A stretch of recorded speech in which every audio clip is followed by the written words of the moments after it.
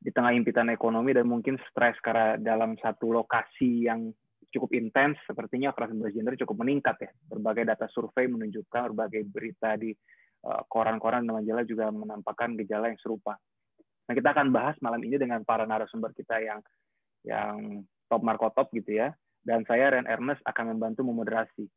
Jadi uh, di tengah budaya yang cenderung patriarkis, nah saya ingin membalik pendulum supaya inilah saatnya ya lelaki kalau bisa melayani perempuan juga. Nah saat ini saya adalah pelayan bagi para perempuan yang keren-keren narasumber di sini.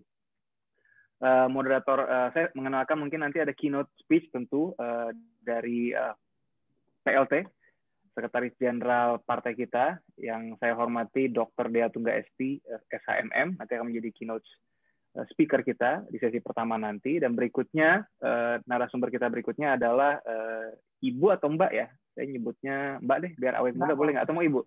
Mbak, mbak. boleh? Ah udah cocok. Udah saat berarti. Uh, mbak Valentina Sagala gitu ya. Senior independent uh, expert legal human rights and gender gitu ya. Ibu Valentina Sagala ini adalah uh, pengacara, konsultan independen, fasilitator trainer, advisor, pakar, peneliti, penulis, seabrak-abrak deh, top dengan spesialisasi gender, hukum dan kebijakan HAM, khususnya hak perempuan dan hak anak. Dengan pengalaman lebih dari dua dekade sebagai supervisor, manajemen program, dan berbagai keahlian. Banyak sekali udah terlibat dalam eh, sektor pemerintahan, peradilan, swasta, NGO, you name it. Kayaknya segala macam lapisan sudah diselami oleh Ibu Valentina Bu Valentina menyelesaikan studi S1 dari UNPAD dan juga Unpar Bandung dan mendapat gelar master dari Universitas Pajajaran Bandung pada 2006 dari jurusan Hukum Ekonomi dan Bisnis dengan tesis mengenai analisis hukum perlindungan anak dan perempuan pekerja rumah tangga di Indonesia. Saat ini Bu Valentina merupakan kandidat doktor di Universitas Jayabaya. Eh, selain itu, Ibu Valentina juga pernah menjadi anggota Dewan Redaksi Koran Harian Sinar Harapan, anggota Majelis Jari Indonesia dan pendiri Jala PRT. Semoga benar ya yang saya sebut tadi Bu Valentina ya. Karena kita nggak pakai gladi resik nih. Oke, okay, thank you. Sebelum saya lompat ke narasumber berikutnya, sebenarnya jangan salah teman-teman. PLT Sekjen PSI juga sebenarnya ahli hukum luar biasa loh. Jadi uh, Sis Dia Tungga ST ini dokter di bidang hukum gitu ya dan eh, berpraktek juga sebagai pengacara dan juga menjadi dosen. Gitu. Jadi paling tidak dua pembicara yang pertama ini adalah perempuan yang hebat di bidangnya, terutama di bidang hukum.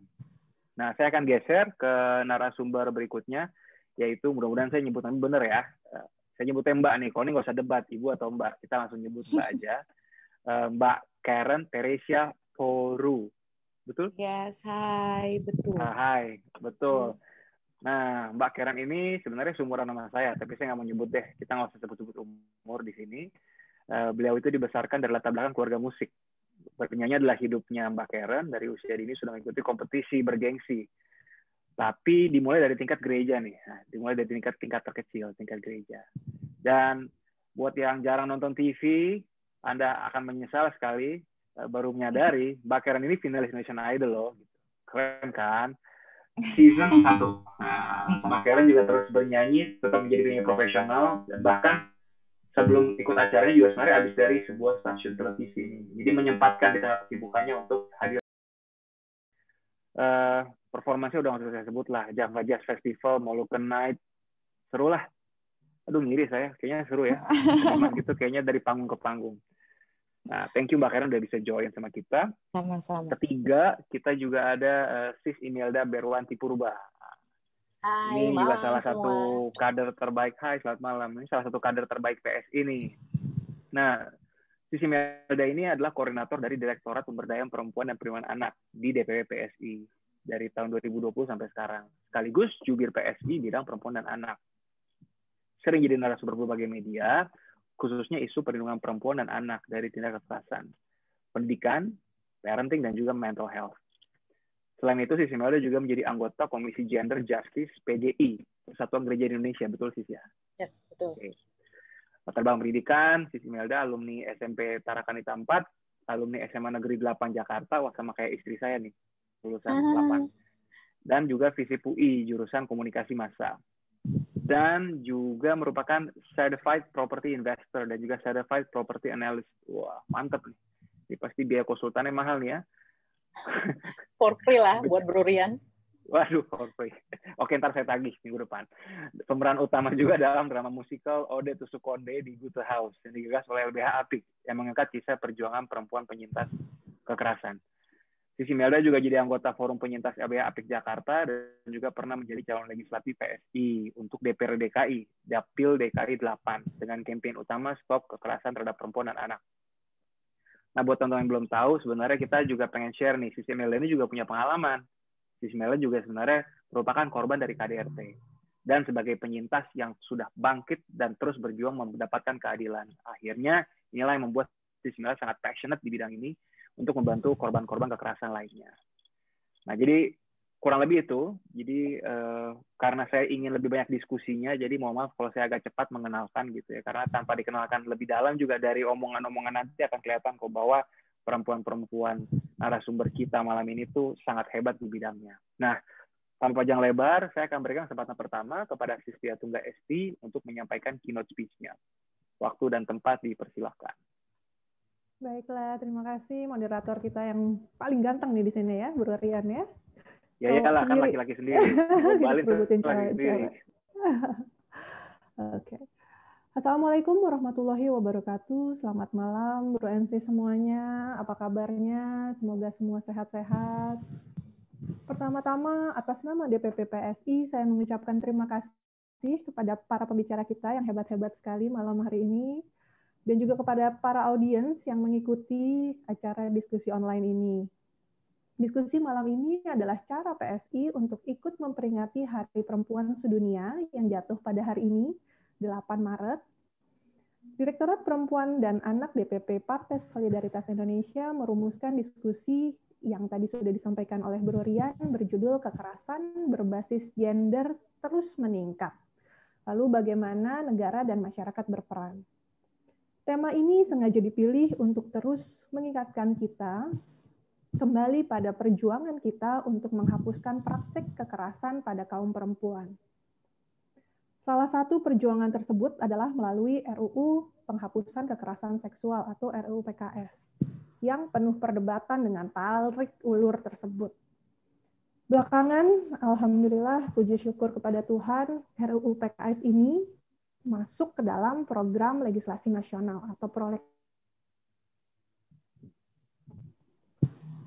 Sebelumnya pada tahun 2020 DPR RI sempat mengeluarkan RUU PKS ini dari prioritas prolegnas. Saat itu melalui siaran pers, PSI tegas mengecam keputusan tersebut Tindakan menarik RUU PKS dari daftar prolegnas merupakan bukti nyata bahwa DPR tidak berpihak kepada perempuan. Di luar Senayan, ada jutaan perempuan Indonesia menjadi korban kekerasan seksual yang menunggu penuh harapan atas adanya pengesahan RUU ini. Bro NC sekalian, sejak awal PSI mendesak agar RUU PKS ini segera disahkan. Sebab payung hukum yang tersedia sekarang kita ketahui tidak berpihak pada korban dan banyak mengandung celah bagi pelaku untuk dapat meloloskan diri dari sanksi. Beberapa kali PSI mengeluarkan siaran pers tentang betapa pentingnya RUU PKS ini untuk segera disahkan. Kami tentunya tidak menghendaki adanya korban-korban baru berjatuhan akibat lambatnya kerja legislasi di DPR. Pada tahun 2019, PSI juga menggelar diskusi publik terkait RUU PKS. Pada kesempatan tersebut, kami mengundang beberapa pihak, salah satunya adalah dari LBH APIK, yang um, dalam diskusi tersebut semakin membuka mata kami semua bahwa RUU PKS ini memang sangat mendesak untuk segera disahkan. Bahkan beberapa kader PSI juga terlibat langsung untuk demo mendesak pengesahan RUU PKS ini. Dari jauh saya sempat melihat ada Sis Dara Nasution dan Bro Kokok Dirgantoro yang ikut turun berdemo di depan kantor DPR di Senayan. Meski belum memiliki kursi di Senayan, dari obrolan dengan pengurus DPP yang lain, saya tahu pasti PSI juga telah melakukan lobby ke sejumlah elit partai politik kami terus mencoba meyakinkan bahwa RUU PKS ini harus menjadi prioritas. Urgensi pengesahan RUU PKS ini semakin besar ketika kita membaca data dari Komnas Perempuan yang menyatakan bahwa kekerasan berbasis gender ini meningkat 63 persen selama pandemi COVID-19 dibandingkan dengan keadaan sebelum masa pandemi. Memang ada dugaan bahwa peningkatan tersebut dipicu semakin meningkatnya keberanian orang untuk melaporkan. Tetapi tentunya di sisi lain bisa jadi juga karena data di atas merupakan puncak dari gunung es. Jadi masih banyak kasus-kasus yang lain yang sebenarnya tidak dilaporkan karena masih banyak berbagai alasan tidak melaporkannya. PSI sangat berharap para anggota DPR bisa memanfaatkan waktu seoptimal mungkin untuk segera mengesahkan RUU PKS ini. Mohon diingat kembali bahwa RUU ini sebenarnya telah diusulkan sejak tahun 2016, sehingga sekarang kami mohon pembuktian atas kepedulian nasib para perempuan agar DPR segera menghasilkan undang-undang yang berkualitas. Dan hal ini tidak bisa ditunda-tunda lagi. Kita sedang berlomba dengan waktu.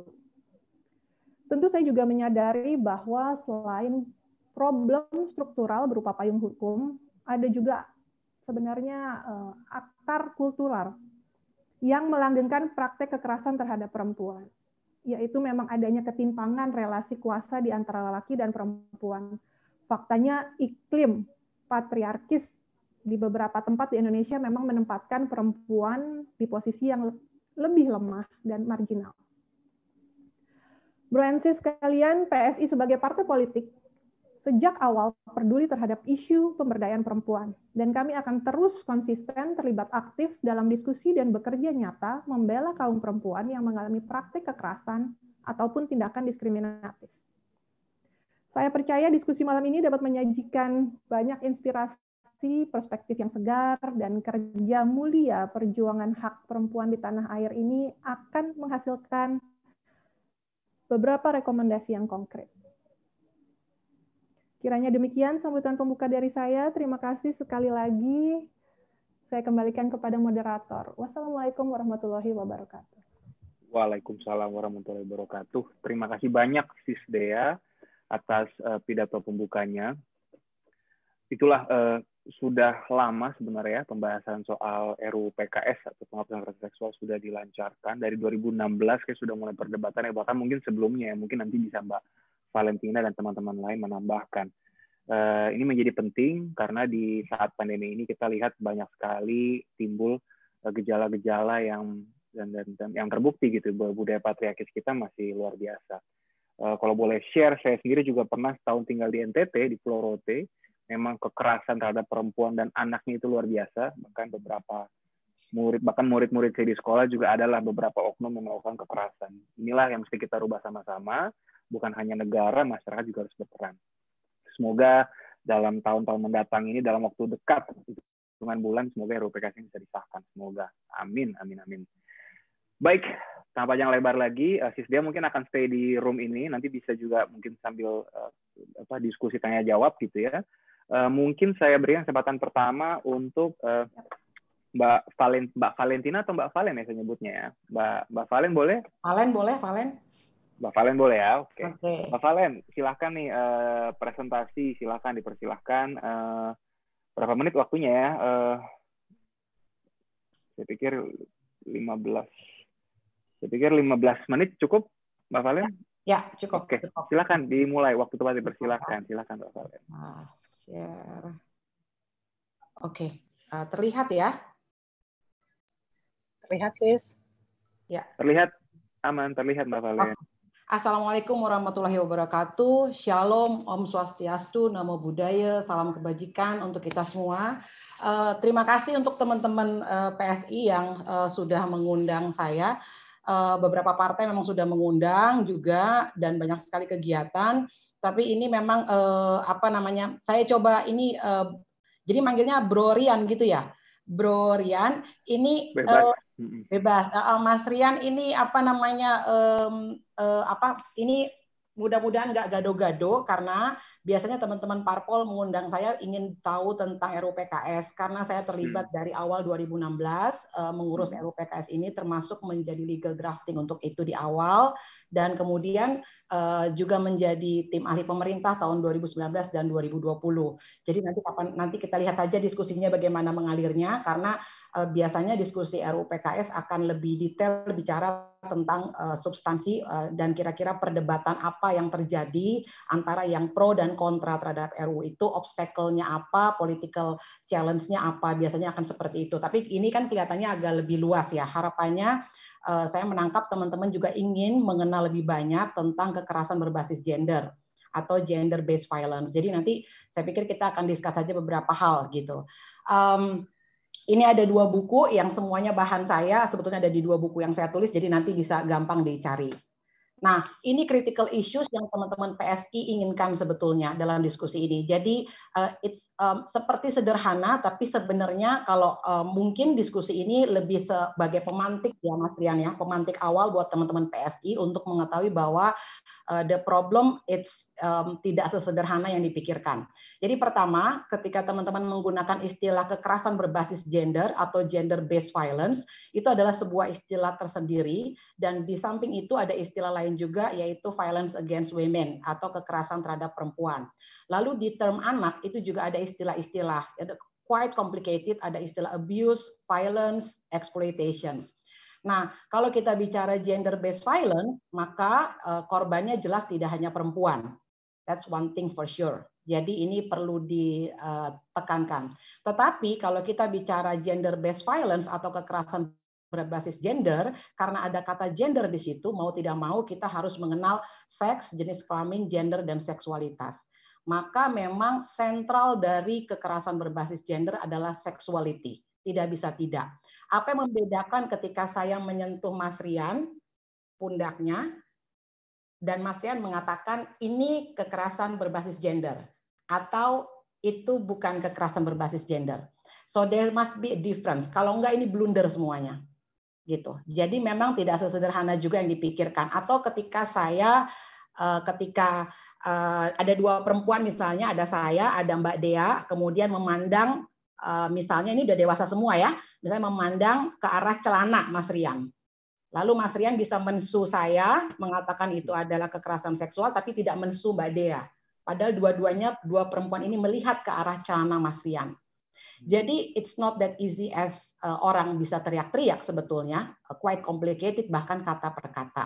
Nah, untuk itu maka saya taruh itu sebagai critical issues pertama. Itu kenapa kita ada banyak sekali eh, eh, pelatihan-pelatihan untuk ini karena memang especially mereka yang ada di front line, orang yang berhadapan dengan korban itu harus dilatih sehingga dia tahu membedakan mana yang korban dan mana yang bukan misalnya ya atau memahami empati pada korban dan yang bukan.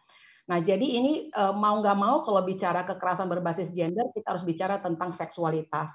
Sexuality adalah sesuatu yang ditentukan oleh masyarakat dan negara ikut menentukannya. Misalnya, perempuan baik-baik adalah perempuan yang satu, menurut pada ayahnya, menurut pada abangnya, gitu ya. Kemudian di usia tertentu dia harus menikah. Sebaiknya dia menikah dengan jodoh yang dipilihkan oleh orang tuanya. Sebaiknya dia menjaga keperawanannya. Kalau dia tidak perawan, dia bukan perempuan baik-baik. Lalu zaman Orde Baru dulu 32 tahun kita dilatih dengan uh, ideologi ibuisme. Perempuan baik-baik adalah perempuan yang menjadi ibu yang baik, yang mendampingi suaminya, melayani suaminya. So sexuality adalah sesuatu yang tidak dari sononya. Ya, itu bukan datang dari naturally, tapi dia nurture, di, di, di, dikonstruksikan oleh socially constructed dan negara hadir di situ untuk mengarahkan seksualitinya mau seperti apa. Ya, termasuk misalnya dalam Undang-Undang 1 tahun 74 di mana kepala keluarga adalah laki-laki dan perempuan yang tidak sanggup memenuhi kewajibannya maka kemudian boleh dicerai dan lain sebagainya. Ya. Nah, kemudian critical issues yang lain itu masih di dalam kolom yang sama adalah pengalaman korban. Bagi para feminis, pengalaman korban adalah sentral, sentrum dari semua pergulatan. Jadi eh, kalau mau tahu kalau mau tahu bagaimana kompleksitas mengalami kekerasan seksual atau kekerasan berbasis gender, tanyakan pada korbannya. Jadi korban itu harus kita letakkan sebagai sentral. Dan ini hal yang relatif baru dalam hukum. Karena hukum biasanya itu berfokus pada pelaku. Ya, kalau kita bicara kalau kita bicara dulu, misalnya KUHP, KUHAP, itu isinya semua bicara tentang pelaku. Pelaku nggak boleh ditangkap sembarangan, pelaku harus didampingi oleh pendamping, dan lain sebagainya. Kenapa? Karena nanti kita bicara dengan eh, box yang kedua tentang eh, perkembangan human rights eh, law. Ya, dari mana? Karena human rights law dulu memang bicara tentang civil political rights. Jadi orang nggak boleh ditangkap sembarangan, orang orang nggak boleh dihukum tanpa proses trial yang fair gitu ya. Nah, sekarang terjadi shifting memang. Kita bergerak ke box kedua. Kita bicara tentang human rights based approach atau pendekatan berbasis hak asasi manusia. Yang atas itu bisa akan terjebak kalau misalnya tidak pakai yang tengah, yaitu human rights based approach. Karena apa? Karena semua punya pemikiran. Ya, yang menolak bilang Ya, tapi kan Mbak Valen kalau misalnya anak saya bersetubuh sama laki-laki kan juga tetap salah itu kan juga kekerasan seksual. Ini akan banyak sekali teorinya kalau hanya bicara box yang atas. Sama seperti misalnya bagaimana menempatkan isu zina. Apakah zina atau perselingkuhan itu kekerasan berbasis gender atau bukan? Siapa korbannya? Itu pertanyaan yang sangat penting. Ya, kalau ada dua mahasiswi kemudian melakukan persetubuhan mau sama mau di sebuah kamar kos, lantas tiba-tiba diseruduk rame-rame dan ditelanjangi di pinggir di dibawa gitu di arah pinggir jalan. Siapa sebetulnya yang menjadi korban? Itu pertanyaan kita. Sementara mereka berdua mau sama mau. So those are issues yang penting banget sehingga kita pakai pendekatan berbasis HAM yang menjadi penting. Ya, itu kenapa saya selalu menekankan kalau bicara sexual violence dalam konteks RUU PKS eh, yang harus dipikirkan adalah bahwa ini bukan victimless crime ini adalah kejahatan atau kekeras atau tindak pidana yang ada korbannya. Jadi kalau saya dengan seseorang melakukan persetubuhan mau sama mau, siapa korbannya? Kalau tidak ada korbannya, ya itu bukan sexual violence, itu isunya. Jadi subjek korban itu menjadi penting sekali. Ya, ini yang yang juga sering kali orang menyederhanakan persoalan RUU PKS, semua semua ditumpangin masuk di situ gitu gitu. Nah, pendekatan berbasis HAM itu dilihat dari mana? Dari human rights instrument, ya semua instrumen-instrumen yang ada. Kalau di Indonesia dalam hukum konteks hukum nasional kita lihat konstitusi dulu UUD 45, kita punya bab tentang HAM. Lalu kita lihat peraturan perundang-undangan yang lain. Nah, yang saya mau tekankan adalah yang kedua yaitu SIDO. SIDO itu adalah Convention on the Elimination on Discrimination uh, of All Forms of Discrimination Against Women. SIDO sudah diratifikasi, disahkan dan diundangkan oleh Indonesia menjadi Undang-Undang Nomor 7 Tahun 1984. SIDO untuk pertama kali mengenalkan istilah diskriminasi terhadap perempuan. Jadi kekerasan terhadap perempuan ini udah banyak istilah ya, itu bagian dari diskriminasi terhadap perempuan. Jadi kalau bicara kekerasan fokus nih, jangan campur aduk nih. Yang kekerasan terhadap perempuan itu sendiri, diskriminasi terhadap perempuan ini kita banyak lagi. Lalu ada CRC, Convention on the Rights of Child. Kalau bicara anak, ini penting lagi, nggak sesederhana yang kita pikir. Ya, untuk perempuan, tadi saya sudah kasih tahu contohnya. Ada yang disebut dengan kemampuan capacity konsensual. Ya, untuk anak jelas, misalnya untuk anak tidak berlaku pasal-pasal delik aduan karena biasanya semua akan pidana murni. Lalu bagaimana banyak hal sekali terkait anak. Nah, ini kan kita semua ngomong selalu gelondongan ya, RUU PKS gitu. Lalu kita harus bicara juga tentang uh, mohon maaf ya tentang Undang-Undang Perlindungan Anak yang sudah dua kali di amend dan amendment terakhir Pak Jokowi mengeluarkan Perpu membuat ada kebiri yang ditolak juga oleh banyak aktivis. Jadi this one of two things yang juga uh, sangat penting. Nah, waktu saya lagi mengurus RUU PKS uh, menjadi tim ahli pemerintah 2019 dan kami membahas RUU PKS ini, itu Mas Rian itu pas kejadian ILO ya International Labour Organization mengeluarkan ILO Convention 190. Itu kenapa saya cepat bikin riset itu dan kemudian membuat buku yang terbaru. ILO Convention 190 ini specifically adalah convention tentang elimination on uh, violence and harassment in the workplace. Jadi ini baru lagi. Ini baru banget karena dia menempatkan secara spesifik apa yang disebut violence, apa yang disebut harassment, karena kita juga sering blunder apa sih harassment, apa sih violence, dan dia menghilangkan istilah at the uh, um, uh, uh, at the workplace menjadi in the world of work. Ini juga kita masih harus kerja keras. ILO Convention 190 belum diratifikasi oleh pemerintah Indonesia saat ini dan kita working very hard for it supaya ini diratifikasi dan dijadikan undang-undang. Nanti ILO Convention 190 ini kalau jadi undang-undang ini akan sangat giving a, a very the latest ya, the latest most comprehensive instrumen yang bisa digunakan untuk misalnya private private sector. Saya sudah diminta beberapa private sector untuk menemani mereka menjadi advisor untuk membangun sistem. Jadi sistemnya dibangun.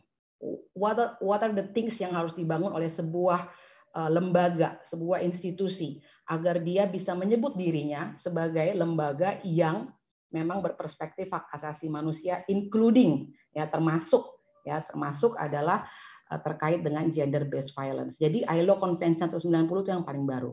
Lalu UNSCR 1325 ini bicara women peace and security. Ini kalau bicara tentang tentara, military, kemudian what else um, tes keperawanan di TNI dan polisi yang nggak tuntas-tuntas itu itu part of the instrument tentang itu ya. Jadi ini banyak banget.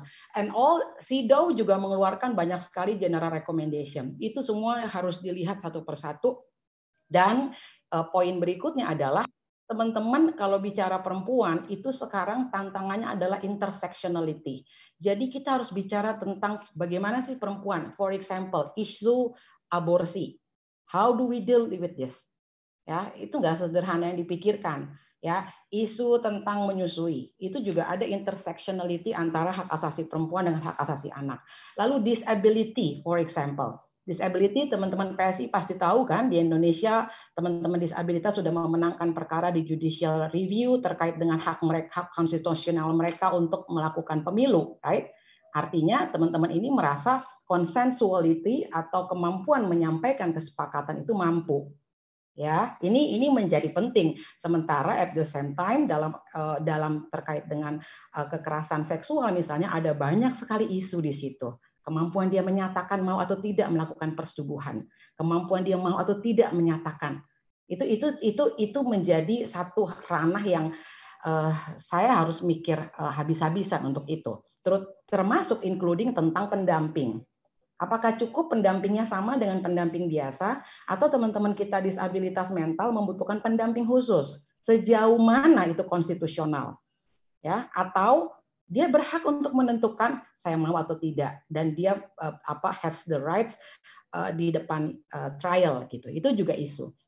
Lalu ada isu tentang konflik ketenaga kerjaan. Tadi saya sudah sebut ya ketenaga kerjaan. Karena ini semua ada di perusahaan sejauh mana saya bisa mensu misalnya satu perusahaan ketika satu perusahaan itu kemudian ada pegawainya memfoto saya payudara saya kita tahu ada kasus eh, yang beberapa waktu yang lalu di one of the cafe, right? Ada orang memfoto. Sejauh mana saya bisa mensu dia? Itu hal-hal yang terkait dengan ketenaga kerjaan dan tadi saya sudah jelaskan tentang sedikit tentang ILO Convention. Lalu soal pidana. We know uh, we might agree with the RUU PKS, tapi apakah kita setuju dengan hukum kebiri? Ini pertanyaan penting buat saya karena saya setuju bahwa uh, saya setuju perlu ada undang-undang yang mengatur, tapi apakah kebiri kita juga setuju? Ya jadi ini uh, banyak sekali isu. Kemudian pidana mati, orang teriak-teriak tentang uh, udah hukum aja mati, uh, hukum mati gitu. Tapi saya dalam posisi saya tidak setuju tentang pidana mati. Gitu. Tapi dan Indonesia jelas posisinya tidak mau meratifikasi uh, Rome Statuto, Statuta, jadi memang masih akan setuju. Nah, these are the things yang juga penting. Jadi memang uh, kalau bicara perempuan, Mas Rian, nggak sesederhana yang dipikirin orang lah ber, nangis berdarah-darah iya, tapi juga capek ya karena kita mikirin banyak hal. Tadi saya bilang misalnya uh, pemaksaan aborsi, banyak sekali isu-isu yang yang yang yang apa yang di dalamnya itu sangat menarik. Nah, yang ketiga yang paling tadi itu uh, sudah dibicarakan nanti kita akan singgung tentang RU penghapusan kekerasan seksual. Jadi ini critical issues yang kelihatannya buat saya ini yang PSI challenge your, yourself, challenge diri kalian sendiri bahwa nanti jelas hari ini nggak cukup, tapi mungkin ke depan ya harapannya tentu ada capacity building yang bisa dilakukan. Nah ini tadi saya sampaikan tentang SIDO. SIDO mengenalkan istilah discrimination against women, ya diskriminasi terhadap perempuan itu diperkenalkan, sudah diratify, sudah disahkan. Lalu ada SIDO General Recommendation banyak sekali. Di dalamnya teman-teman bisa belajar tentang sunat perempuan, tentang aborsi, tentang macam-macam. Lalu ada sebuah declaration, Declaration on the Elimination of Violence Against Women. Ini jelas ranahnya perempuan. Lalu di, di PBB kita punya SIDO Committee dan pemerintah Indonesia mengirimkan report ke SIDO Committee setiap every four years. Nah, lalu di, di ranah yang lain itu ada ILO Convention. ILO urusannya adalah urusan ketenaga kerjaan. Ya, tapi teman-teman, ini kita ngeri banget sama Undang-Undang Cipta Kerja. Kita udah pusing mikirin Undang-Undang Cipta Kerja. Jadi memang uh, one of the challenge kalau teman-teman ingat sekitar beberapa bulan yang lalu itu salah satu uh, pemberitaan dari luar negeri juga memberitakan mengenai kasus di palm oil perkosaan ya di hutan-hutan kita bagaimana para teman-teman kita, saudara-saudara kita, ibu-ibu kita, anak-anak perempuan kita beresiko mengalami perkosaan dan lain sebagainya di perkebunan sawit ya yang yang kemudian hasil produknya kita pakai untuk make up sehari-hari. So these are also very challenging teman-teman. Waktu kita bicara tentang kekerasan terhadap perempuan, ya um, banyak orang mengatakan pada saya ini terlalu liberal ini Mbak Valen gitu. Liberal gimana ya sosialis banget lah. Bayangkan berapa ratus juta itu. Gimana ngurusnya itu gitu. Tapi nggak banyak yang kenal ILO Convention. I have to tell you. Makanya uh, uh, kemarin buku saya juga langsung habis karena banyak sekali yang mau tahu tentang apakah benar isu kekerasan terhadap perempuan itu very very personal? Yes, it is very personal. Ya, tetapi juga itu bisa berdampak luar biasa sekali. Nah, kita bisa bicara kapan-kapan tentang kerjaan tersendiri mengenai ketenaga kerjaan karena Kemenaker tahun 2011 sudah mengeluarkan surat edaran Menaker sebetulnya, tapi but still in very very limited. Jadi misalnya bicara pelecehan seksual, lalu di tempat kerja, tempat kerja itu artinya in the building. Jadi gimana dong Mbak Valens? Kayak saya ngalamin banyak sekali selama COVID. Bos saya kirim foto, chat foto perempuan yang saya nggak suka. Ya, uh, my colleague kirim saya uh, eh, SMS uh, eh, link-link yang saya nggak nyaman. Ini kekerasan seksual nggak nih Mbak Valen? Yes, itu kekerasan seksual. Tapi your company punya nggak? Punya nggak policy? Your company punya nggak code of ethics? Your company punya nggak procedures and sanctions?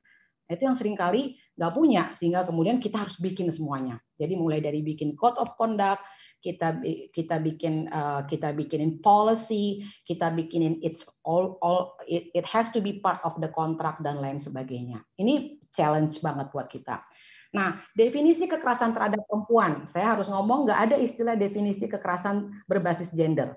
Jadi yang ada dalam instrumen HAM adalah kekerasan berbasis eh, kekerasan terhadap perempuan uh, violence against women. Setiap perbuatan harus perbuatan berdasarkan perbedaan jenis kelamin yang berakibat atau mungkin berakibat jadi uh, berakibat tapi juga might ya mungkin berakibat kesengsaraan penderitaan perempuan secara fisik seksual dan psik atau psikologis termasuk ancaman perbuatan tertentu, pemaksaan atau perampasan kemerdekaan secara sewenang-wenang, baik yang terjadi di depan umum maupun dalam kehidupan pribadi.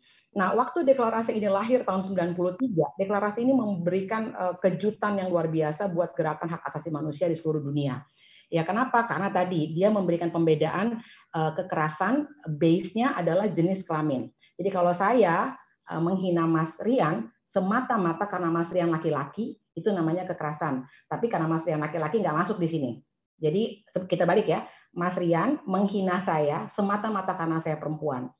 Itu masuk kekerasan terhadap perempuan. Bukan karena saya orang minoritas, saya Nasrani, bukan karena saya uh, gitu, bukan karena saya non Jawa, bukan. Semata-mata karena saya perempuan maka masuk ke sini.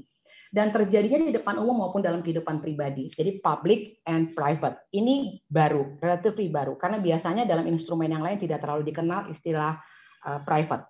Private itu sangat jarang dikenal dalam most of uh, any instruments. Nah, ini juga penting saya cuma kasih dua pasal saja.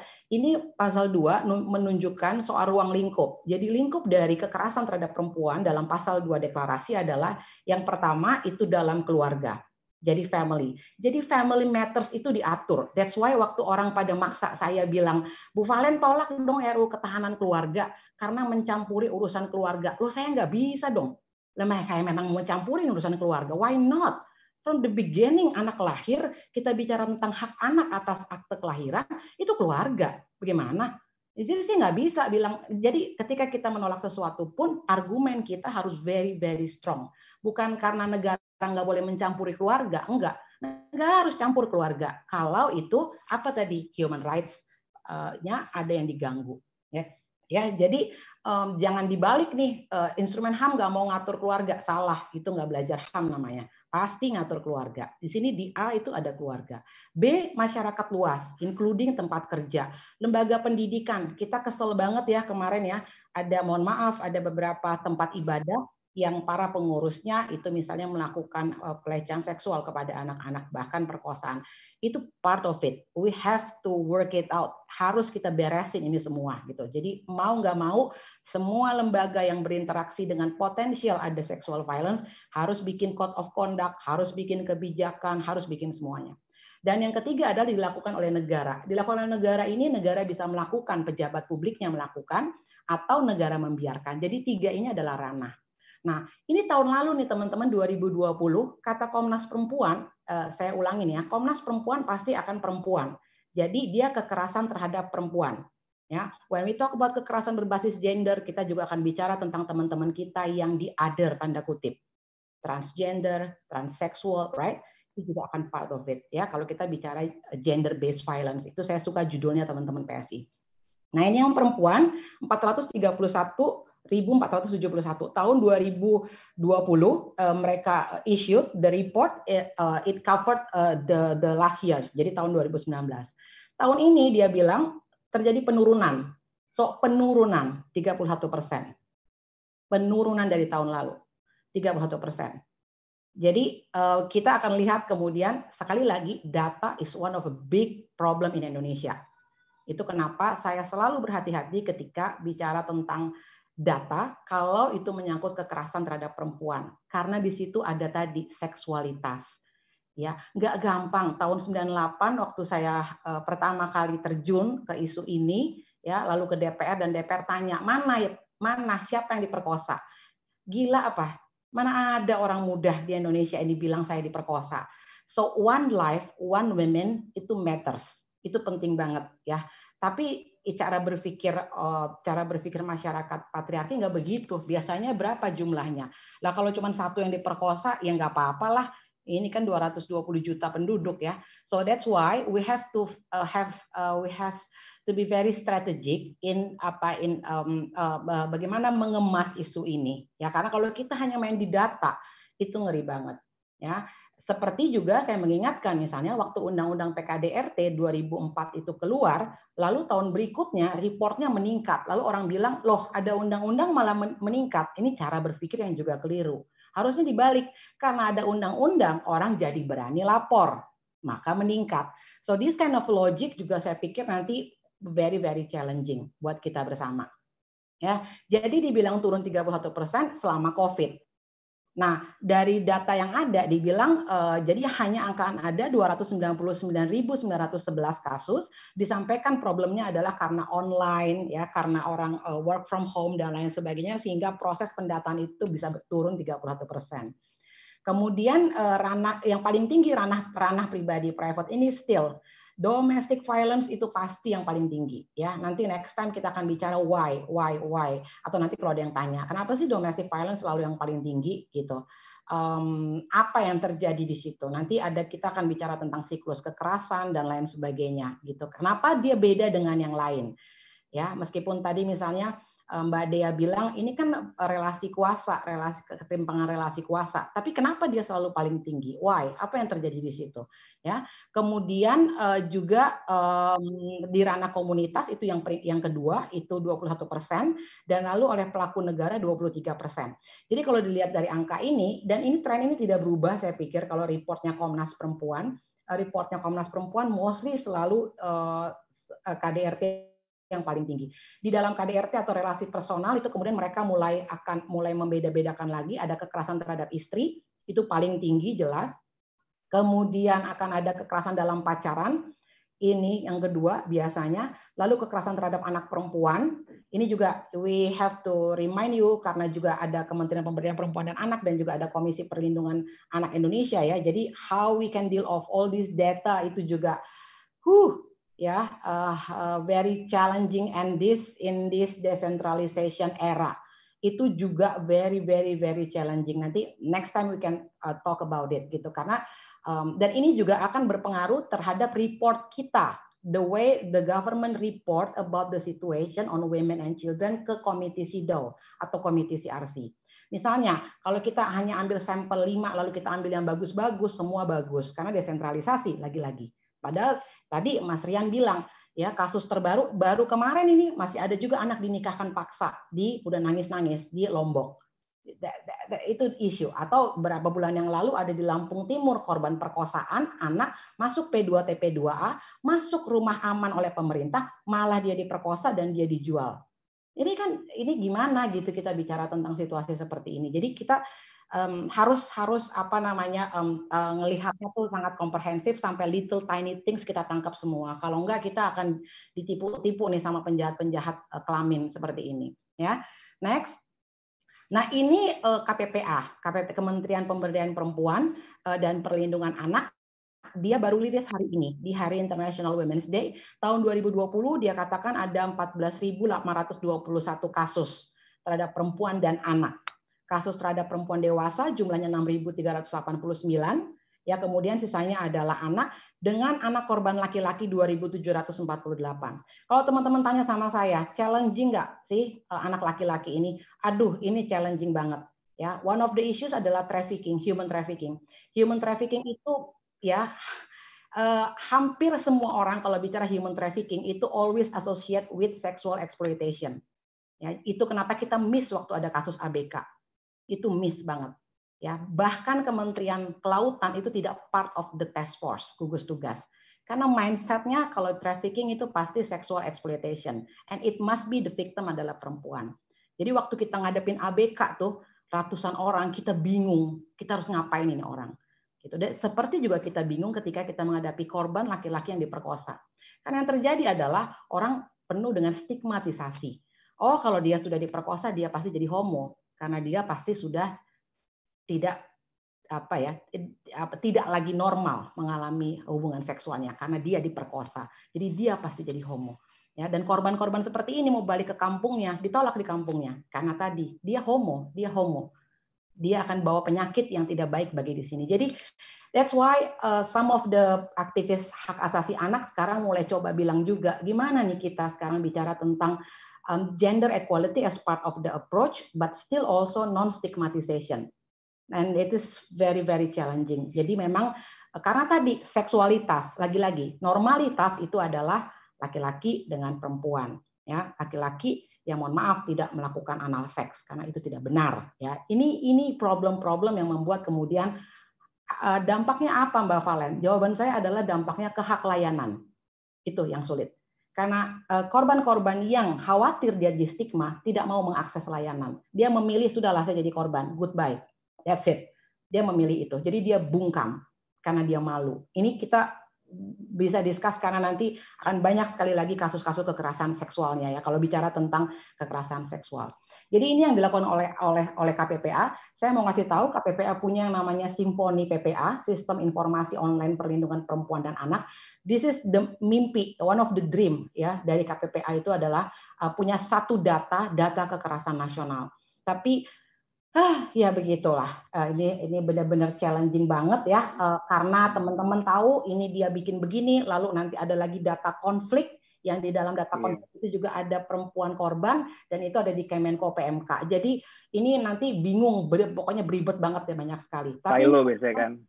Ya, jadi biasanya nggak nyambung.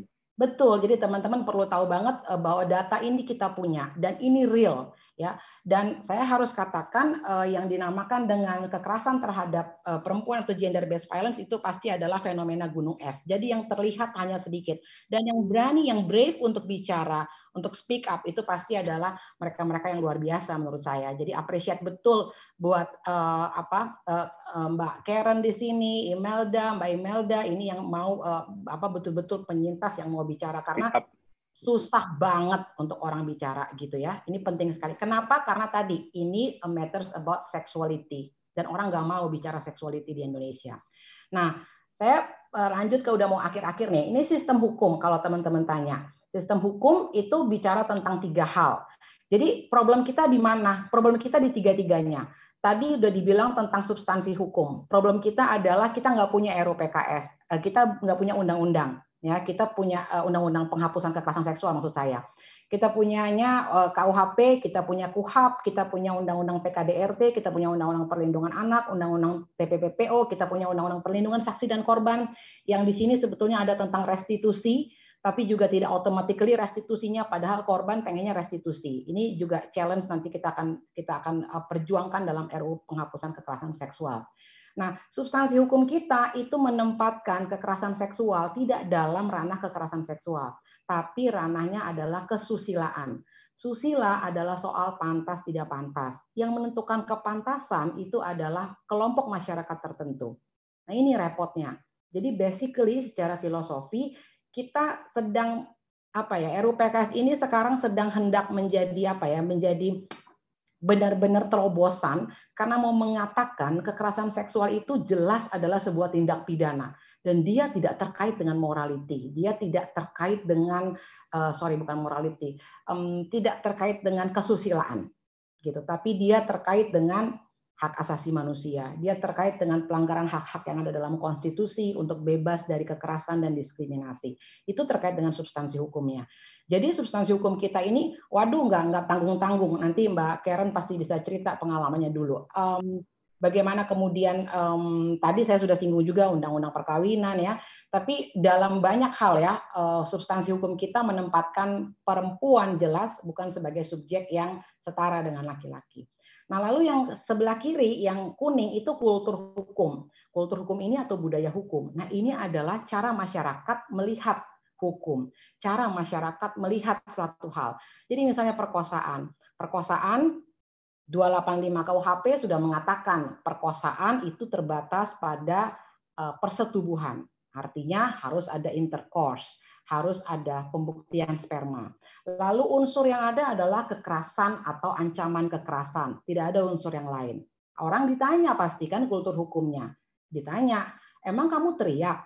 Apakah ada kekerasan? Apakah ada baju yang robek? Apakah ada perlukaan pada vagina? Apakah ada, apakah ada, apakah ada? Itu akan ditanyakan begitu. Dan kemudian masuk pada kultur hukum terkait dengan kekerasan terhadap perempuan itu biasanya victimize the victim. Kenapa jalan sendiri malam-malam? Kenapa? Kok nggak ada yang nemenin? Ya, itu pertanyaannya. Kenapa pakai baju seperti itu? Kenapa berdandan seperti itu? Kenapa dan kenapa? Kalau KDRT juga sama tuh Mas Rian, pasti kamunya kali yang kurang sabar, kamunya kali yang kurang melayani, kamunya kali yang kurang dandan di rumah. Kamunya kali yang pulang kantornya selalu telat, selalu victimize the victim. Itu kulturnya terhadap anything relates to kekerasan berbasis gender. Kamu sih yang nggak bisa ngurus anak, selalu begitu. Itu kulturnya. Nah, kemudian struktur hukumnya, cara pandang dari pembuat peraturan perundang-undangan dan pelaksana. Ini sama aja. Ya, jadi tidak semua, pasti nanti sebutnya oknum gitulah ya bahasanya. Beberapa saja yang belum di training dan lain sebagainya. Melihatnya adalah um, dan ini yang membuat orang tidak mau beracara ya, tidak mau beracara karena uh, hakim, polisi dan jaksa cenderung um, sangat uh, positivistik gitu. Jadi apakah ada kekerasan? Apakah ada ancaman kekerasan? Oh nggak ada, karena ada rayu-merayu kan. Mbak kan magang. Kalau Mbak mau Mbak jadi uh, saya angkat staff karena saya HRD-nya, saya angkat staff, Mbak harus mau tidur sama Bapak A. Ada paksaan? tidak terlihat. Dia masuk ke kamar hotel itu sesuai dengan arahan. Ada teriakan? Tidak ada teriakan. Dia mau. Itu kenapa tadi Convention ILO hmm. bicara tentang banyak hal soal ketenaga kerjaan. Karena tadi nggak kelihatan itu kita bicara seperti itu. Jadi jadi memang tiga hal ini kalau kita bicara tentang sistem hukum yang kita mimpikan untuk Indonesia ke depan, tiga-tiganya ini sebetulnya harus benar-benar berperspektif gender, berperspektif adil gender dan Uh, human rights based. Jadi betul-betul semua harus dipaham betul tentang uh, bagaimana sih uh, penegakan hukum ya yang berperspektif hak asasi manusia. Nah, ini pengalaman aja ini masih pidana belum perdata. Ini kalau pidana korban, nah pendamping itu saya kasih merah karena itu sedang diperjuangkan sebetulnya. Eh, mulai ada pendamping sejak ada Undang-Undang PKDRT tahun 2004. Sebelumnya istilah pendamping itu sulit sekali karena pendamping biasanya terkait dengan lawyer yang ada dalam KUHAP. Jadi memang istilah-istilah itu juga dulu saya ngalamin banget memperjuangkannya karena tadi semua orang profesor-profesornya ini legalistik formal banget. Jadi gimana kita ngomong itu susah sekali. Tapi ini bayangan bayangkan teman-teman seorang Valen kalau jadi korban dia harus berhadapan dengan itu tuh polisi, jaksa, pengadilan. Jadi yang tiga di depan itu ngebantu dia, pendamping, lembaga bantuan hukum, dan lembaga layanan. Kalau ditanya negara hadir di mana, nih negara harus jebret hadir semua di sini. Saya harus bilang gitu. Negara harus mastiin agar korban itu benar-benar mendapat keadilannya dari ujung kiri sampai dia putusan pengadilan, sampai dia dapat restitusi. Itu yang kita inginkan dari negara. Jadi negara menghadirkan pendamping, negara menghadirkan bantuan hukum, negara menghadirkan layanan, ya, dan negara memastikan polisi, jaksa, dan pengadilan itu semua berperspektif gender dan hak asasi manusia. Itu yang kita harapkan. Ini baru ngomong pidana, belum ngomong perdata dan lain sebagainya. Tapi nanti kurang lebih akan sama eh, terobosan-terobosan yang diharapkan. Nah ini cuma satu slide aja tentang RUU penghapusan kekerasan seksual. Kalau teman-teman tanya, next time mudah-mudahan kita bisa diskusi karena pasalnya dulu 152 pasal lalu di-cut oleh pemerintah jadi 55 pasal. Yang sekarang kita lagi tunggu. Nah, ini yang jadi perdebatan definisi di pasal 1 angka 1. Setiap perbuatan merendahkan, menghina, menyerang dan atau perbuatan lainnya terhadap tubuh hasrat seksual. Hasrat seksual itu yang selalu ditolak karena di dalamnya ada LGBT dan atau fungsi reproduksi koma secara paksa bertentangan dengan kehendak seseorang yang menyebabkan seseorang itu tidak mampu memberikan persetujuan dalam keadaan bebas. Persetujuan dalam keadaan bebas ini yang diribut-ributin tentang konsensual seks yang sekarang hoaxnya memenya lagi rame banget. Jadi bahwa kalau konsensual seks berarti bukan KS dong, bukan kekerasan seksual. Ya tadi, kalau mau sama mau. Padahal kan itu zina menurut agama. Kalau begitu itu juga harus masuk KS. Jadi ini isu-isu yang akan muncul. Saya masuk ke yang di bawah, ada sembilan jenis kekerasan seksual yang nantinya kalau RU ini jadi akan diatur ya. Pertama pelecehan seksual. This is this will be the first time kita kenal istilah pelecehan seksual karena sebelumnya kita hanya kenal istilah cabul. Yang kedua eksploitasi seksual, kemudian yang ketiga pemaksaan kontrasepsi. Jadi ini banyak terjadi pada teman-teman kita disabilitas again, makanya tadi saya bilang ada intersectionality karena teman-teman disabilitas, terutama disabilitas mental, biasanya dipaksa memakai kontrasepsi tanpa kesepakatan dari dia. Ya, supaya dia tidak hamil, supaya orang tuanya nggak capek, harus ngurusin dia kalau dia nanti bersetubuh lagi atau diperkosa dan lain sebagainya. Karena ada teman-teman yang diperkosa lalu diper, lalu diperkosa lagi, hamil lagi, diperkosa lagi, hamil lagi. Itu some of the issues yang memang quite complicated gitu. Itu pemaksaan kontrasepsi. Pemaksaan aborsi uh, perempuannya ingin uh, melanjutkan kehamilan, tetapi pasangannya, bapaknya ingin agar ada aborsi.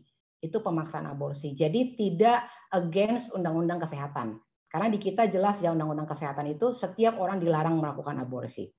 Lalu perkosaan kita perluas. Perkosaan tidak lagi hanya persetubuhan yaitu inter intercourse, tapi juga termasuk anal dan oral, dan memasukkan benda-benda ke anal atau oral. Itu masuk di perkosaan. Jadi uh, akan akan broader. Pemaksaan perkawinan ini juga akan ada di sini termasuk perkawinan anak. Meskipun kita sudah amend Undang-Undang 174 terkait dengan peningkatan usia ya, uh, usia minimum perkawinan menjadi 19 years old.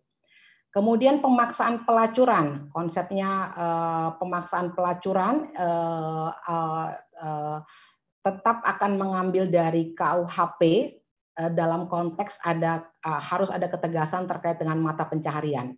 Jadi seseorang yang menjadikan sebagai mata pencaharian um, dengan memanfaatkan tubuh perempuan korban untuk kemudian melacurkan diri yaitu pemaksaan pelacuran. Ini juga oleh hoax-hoax ini luar biasa nih. Nanti kita bisa diskusi karena mereka mengatakan kalau gitu ini posisi RUU ini berarti mendukung pelacuran karena yang tidak dipaksa berarti uh, tidak ini dong, tidak apa, tidak dipidana. Ya ya iyalah, kan nggak ada itu, ya kan? Pelacu uh, orang kalau saya mau tidur dengan seseorang lalu saya memperoleh uang itu victimless crime itu, nggak ada korbannya kan?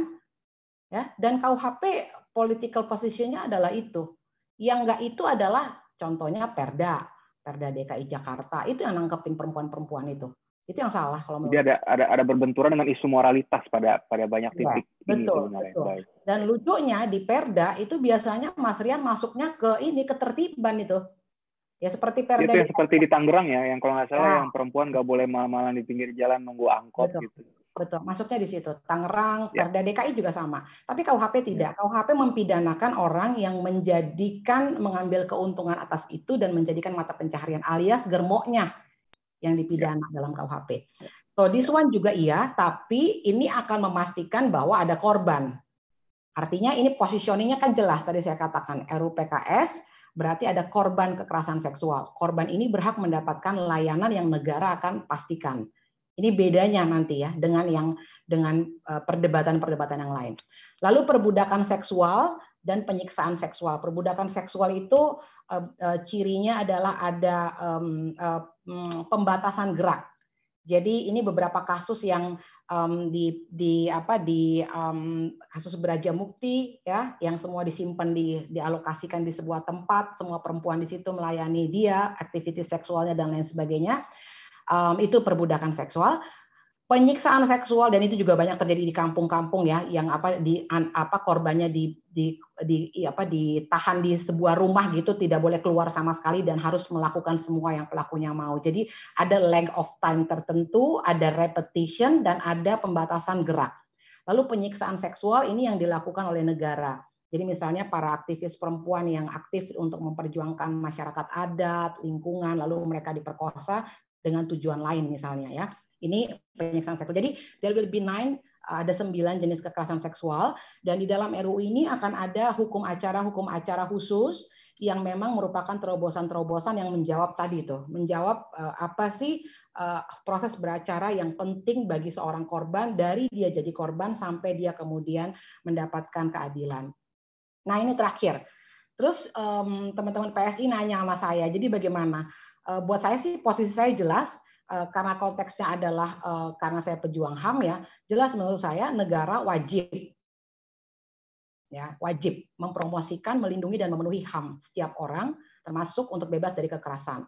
Melalui pembentukan sistem hukum yang berpihak pada korban tadi RUPKS kemudian negara hadir untuk secara konkret memang mencegah melindungi memastikan ya sampai kemudian ada keadilan bagi korban. Kalau masyarakat dia nggak wajib ngapa-ngapain sebetulnya ya. Tapi beberapa RUU beberapa undang-undang mewajibkan. Misalnya ya wajib untuk mendukung proses hukum. Ya jadi kalau ngelihat tetangganya kemudian mukul ya dia harus wajib lah lapor. Tapi perannya apa yang bisa dilakukan? Mengawal advokasi RUU PKS mengawal APBN dan APBD bagi korban. Ini penting banget teman-teman. Real nggak usah nunggu-nunggu. Pokoknya gimana caranya harus cariin dana itu ya untuk korban mencegah Eh, lewat edukasi, pelatihan, eh, kampanye. Mendampingi korban, masyarakat bisa mendampingi korban. Ya, kemudian masyarakat bisa start from yourself, tidak menyalahkan korban, tidak blaming the victim. Lihat dulu, nggak gampang buat perempuan itu untuk coming up, untuk bilang bahwa saya korban kekerasan. Itu nggak gampang, malu beneran. Jadi untuk itu luar biasa, support them.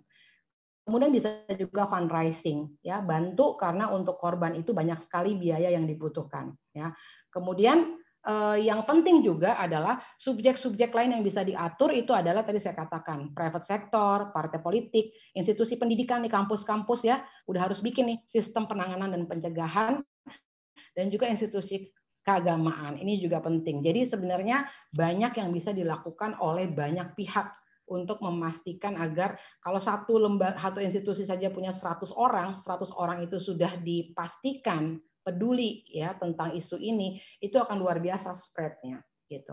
Mungkin itu dulu, Mas Rian. Is it 10 minutes? Hopefully, right? Uh, 40 minutes. Oh, God. Tapi karena ilmunya penuh, saya dari tadi nggak mau potong sebenarnya Mbak oh, Karena kita bisa yang lain ya, tenang aja nanti. Ah, ah, ah. Betul. Ini kayaknya Mbak Kiara nih walking encyclopedia kayaknya nih soal isu-isu berbasis gender ya. Menarik banget. Senang banget. Ini semacam crash course ya. Mungkin kan karena banyak juga yang join kita malam ini secara daring kan mungkin banyak yang sebenarnya belum tahu. Oke okay lah sering dengar cerita RUU PKS tapi sebenarnya substansinya tuh apa aja gitu ya atau seperti apa tadi dijelaskan dengan sangat detail oleh Mbak Valen saya senang banget tapi sebelum saya nanti kasih pertanyaan juga untuk menanggapi Mbak Valen saya langsung inilah berbicara dari perspektif korban seperti tadi Mbak Valen bilang kan kita harus focusing sebenarnya di uh, subjeknya korbannya ini sebenarnya bukan di si pelaku. Nah, saya akan geser langsung ke Mbak Karen ya. Artinya well, Mbak Karen punya prestasi luar biasa, tapi kan setiap orang juga punya cerita yang nggak bisa dipilih ya, jangan lupa bisa dipilih gitu. Sebagai seorang penyintas KDRT, mungkin Mbak Karen bisa share. Uh, pertama, maksudnya uh, bagaimana bisa survive ya, bisa bisa menjadi seorang penyintas yang tetap berprestasi sampai sekarang dan harapan Mbak Karen dengan nanti RUU PKS atau anggaplah bukan RUU PKS, anggaplah harapan Mbak Karen uh, kepada negara ya. Apa-apa aja sih yang perlu ada dari negara kepada warganya yang mengalami uh, KDRT. Silakan Mbak Karen. 10 menit ya. silakan Mbak. Thank you. Selamat malam semuanya. Uh, saya Karen Poru, saya penyintas dan uh, saya uh, kasus saya ini sekarang sedang disidangkan, sidang KDRT. Dan uh, dari permulaan itu adalah KDRT yang terjadi secara psikis.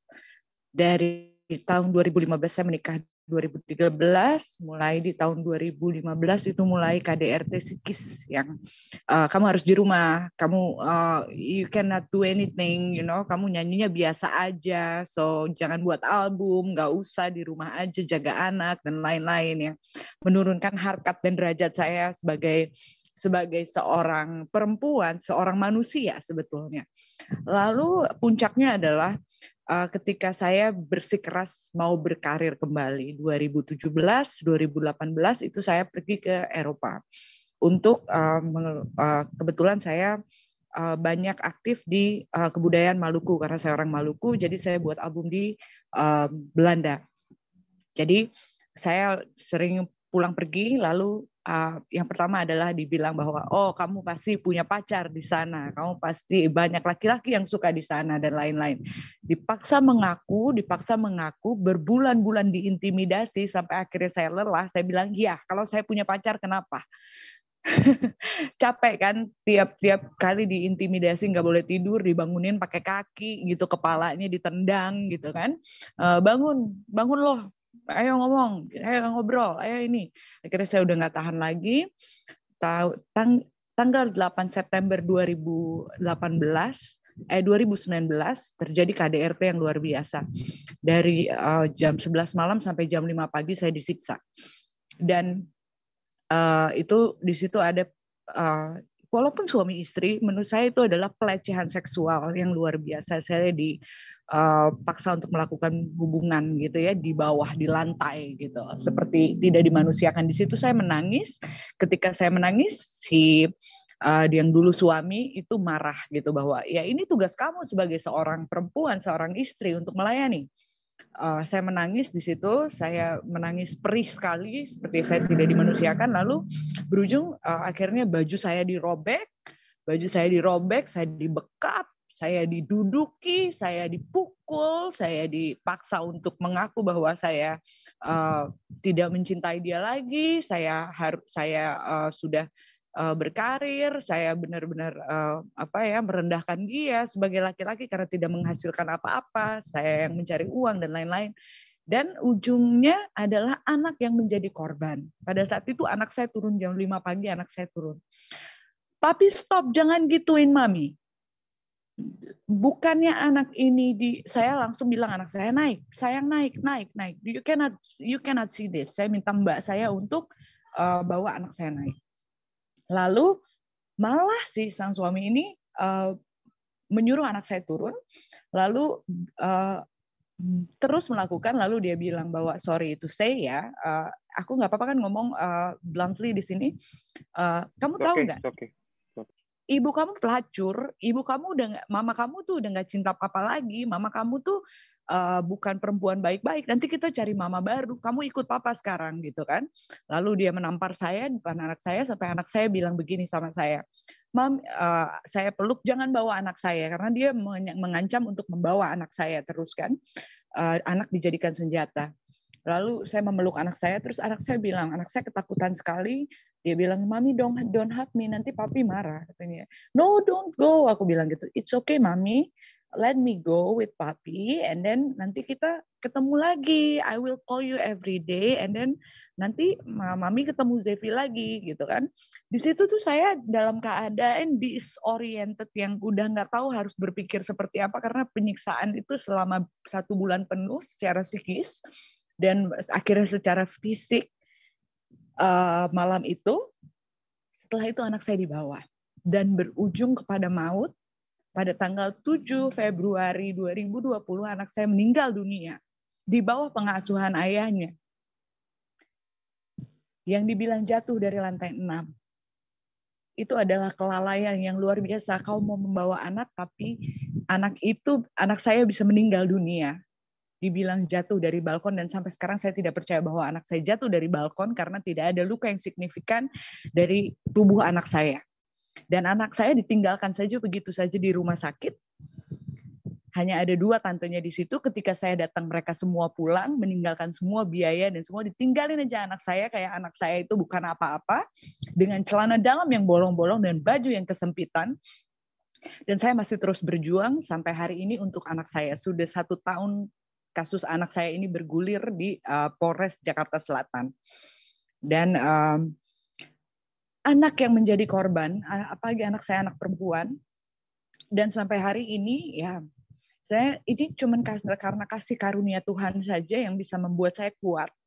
Karena saya tahu apa yang diberikan Tuhan, diambil oleh Tuhan, Tuhan punya maksud yang lain bahwa anak ini terlalu indah untuk ada di dunia ini, untuk menyaksikan um, kerasnya hidup, apa yang terjadi kepada ayah dan ibunya.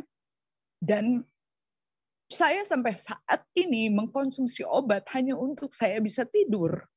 Dan hanya untuk saya bisa relax my mind, I have to take all the medication from psychiatrist gitu. Dan aku, I'm sick of it. I'm really sick of it. Karena kalau aku nggak minum obat itu, aku kejang. Aku kejang-kejang seperti orang epilepsi dan obat aku sama sama orang epilepsi. Dan yang gilanya lagi, pada saat persidangan, pada saat persidangan, uh, dia dalilnya dia adalah uh, dia mencegah saya untuk bunuh diri. Jadi dibilang bahwa kekerasan itu tidak terjadi. Yang terjadi adalah pencegahan bunuh diri karena Karen mau bunuh diri. Mana ada orang mau bunuh diri, tapi di di uh, ada kekerasan seksual di situ dan hebatnya mbak saya pengasuhnya Zevania almarhum anak saya merekam kejadian tersebut dari tangga.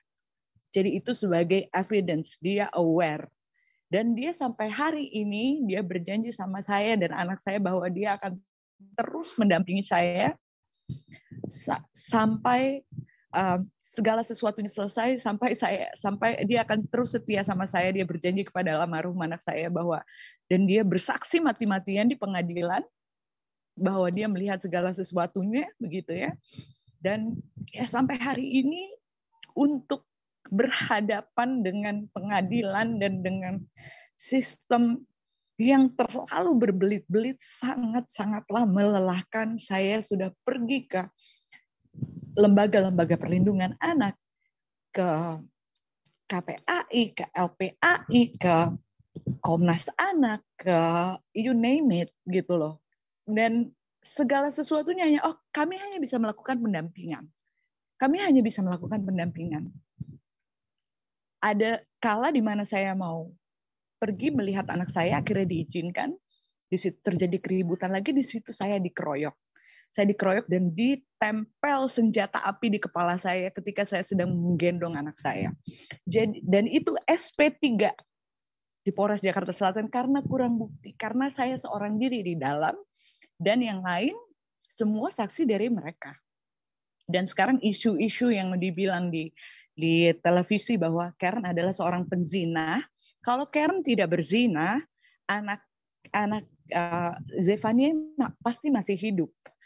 Itu adalah hal yang terkonyol yang yang buat saya yang masih membuat saya sangat marah sampai saat ini bukannya saya tidak menerima meninggalnya anak saya. Saya harus menerima karena itu sudah takdir Tuhan gitu.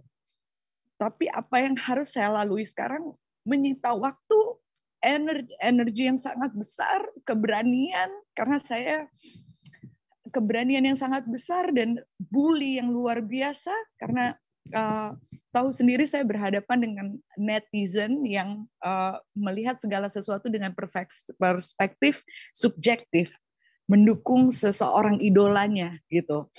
Jadi saya terus dibully sampai ada foto alat kelamin di di um, apa namanya di Instagram saya dikirim dasar tukang bohong, dasar ini, dasar penzina gitu, di teror demi teror demi teror. So I mean this is too much dan uh, hukum harus lebih sharp lagi, harus lebih tajam lagi untuk um, mengatasi persoalan-persoalan seperti ini begitu. Anak di bawah umur sudah jelas harus di bawah pengasuhan ibunya, tapi kenapa dan siapa yang harus bertindak untuk mengambil anak itu? Kalau dibilang bahwa ayah dan ibu mempunyai hak yang sama, apakah harus saling culik menculik? Itu juga kan tidak baik, begitu. So that's my experience dan uh, mungkin sudah banyak dengar uh, dan uh, beritanya sekarang juga sedang ramai kembali gitu dengan uh, fitnah-fitnah yang luar biasa karena mereka bilang bahwa kami terpaksa menyerang Karen karena Karen sudah melakukan fitnah dan bla bla bla. Itu benar-benar terjadi dan saya punya buktinya gitu. Tapi ya tetap saja gitu segala sesuatunya melalui proses yang sangat berbelit-belit. 2019 pelaporan, 2021 baru sidang. Itu luar biasa.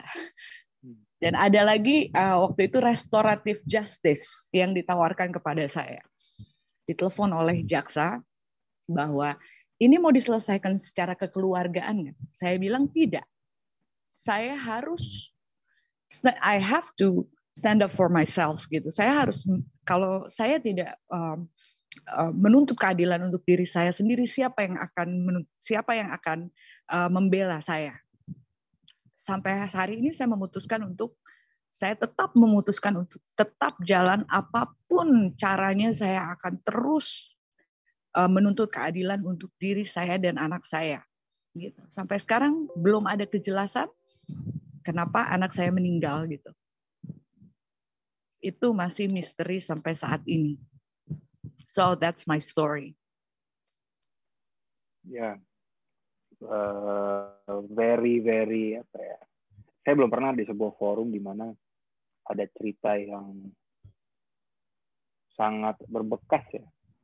Khususnya kita semua yang mendengarkan ini juga pasti merasa sangat prihatin. Artinya magnitud dari kejadian yang menimpa Karen itu menurut saya beyond our imagination sih menurut saya dari saya dari sisi laki-laki juga very very sorry to hear very sorry to hear Very sorry to hear. Nah, tapi uh, dan saya semoga keadilan akan uh, pada akhirnya keadilan akan tegak untuk Mbak Karen dan juga uh, apa almarhum anak tercinta. Semoga, semoga, amin. semoga, semoga, amin. Mungkin saya juga ingin tertarik memang uh, dalam perspektif dalam tetap menjaga, saya ingin menjaga koridor diskusi agar tetap objektif juga gitu ya. Uh, mungkin eh, nggak tahu Sisdea atau mungkin Mbak Valen perspektif hukum di Indonesia ya dalam kasus seperti Mbak Karen tadi gitu. Apakah instrumen yang ada sekarang memang tidak cukup sehingga RUU PKS menjadi satu jalan keluar atau seperti apa ya? Jadi saya juga ingin mencoba melihat kasus Mbak Karen ini kan mungkin gunung es juga ya, fenomena gunung es. Saya yakin ada banyak sekali seperti Mbak Karen di luar sana, tapi tadi karena bicara budaya patriarkis yang udahlah saya udah korban gitu nggak ada gunanya gitu atau tadi mbak Karen bilang ada soal waktu tenaga dia yang luar biasa sudah ke sana kemari sudah sana kemari itu sifatnya advokasi nah apakah RUPK bisa menyelesaikan masalah ini sebenarnya. Mungkin saya coba ke Mbak Salim gitu ya, untuk menanggapi sedikit ya sebelum saya coba geser lagi ke Mbak Imelda juga untuk share. Ini kan jadi perspektif korban kita coba mau melihat perspektif korban tapi ternyata ceritanya begitu wah saya sebagai laki-laki mendengarnya kayak geram gitu ya. Nah, tapi saya sebelum mau geser ke korban yang lain itu mungkin silakan mbak Valen atau Sistia dari sisi hukum melihatnya seperti apa sih? Ya saya uh, Mbak Karen be strong ya thank you pasti be strong God bless you hmm, jadi begini uh, uh, Mas Rian. Kalau untuk kasus KDRT, loopnya ini kan memang di jadi di Undang-Undang PKDRT. Tadi Mbak Karen menyampaikan ada banyak problem ya uh, beracara jelas Mbak Karen sangat keberatan dengan proses acara yang sangat tidak nyaman.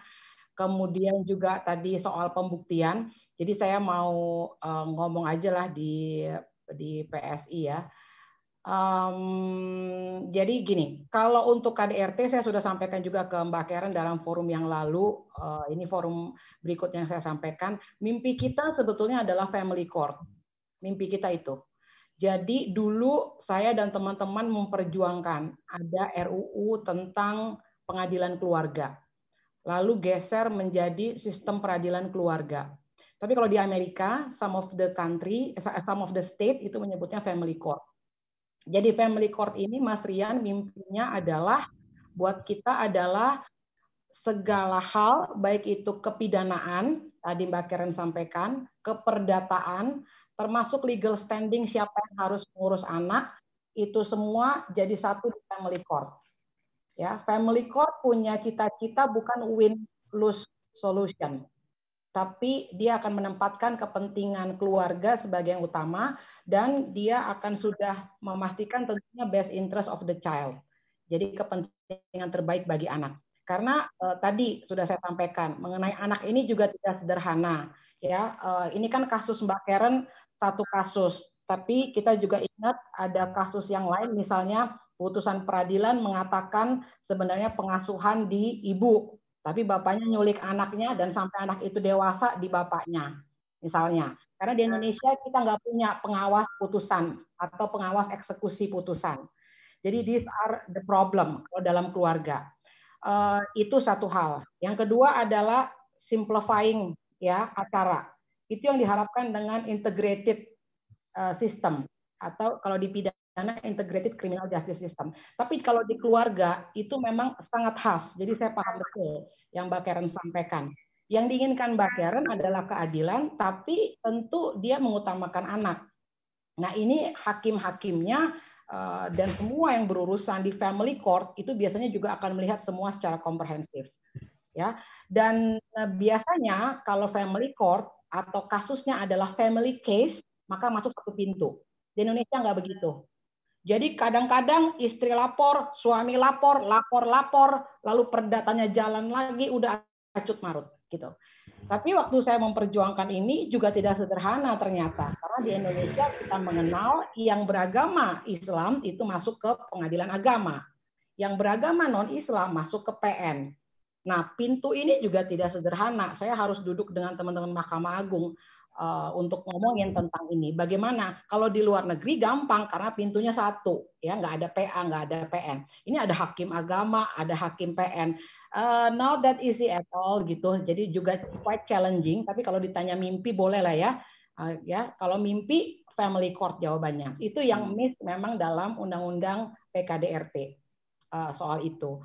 Nah, apakah Mas Rian tanya di di RUU PKS ada atau tidak? RUU PKS tidak akan bicara spesifik mengenai rumah tangga atau family, hmm. tidak akan bicara itu, tapi berlaku untuk itu. Tapi dia fokus di kekerasan seksual. Jadi tadi Mbak Karen bilang dia akan ada ada unsur kekerasan seksualnya. Unsur itu begitu dia masuk sebagai korban, dia akan menikmati semua acaranya.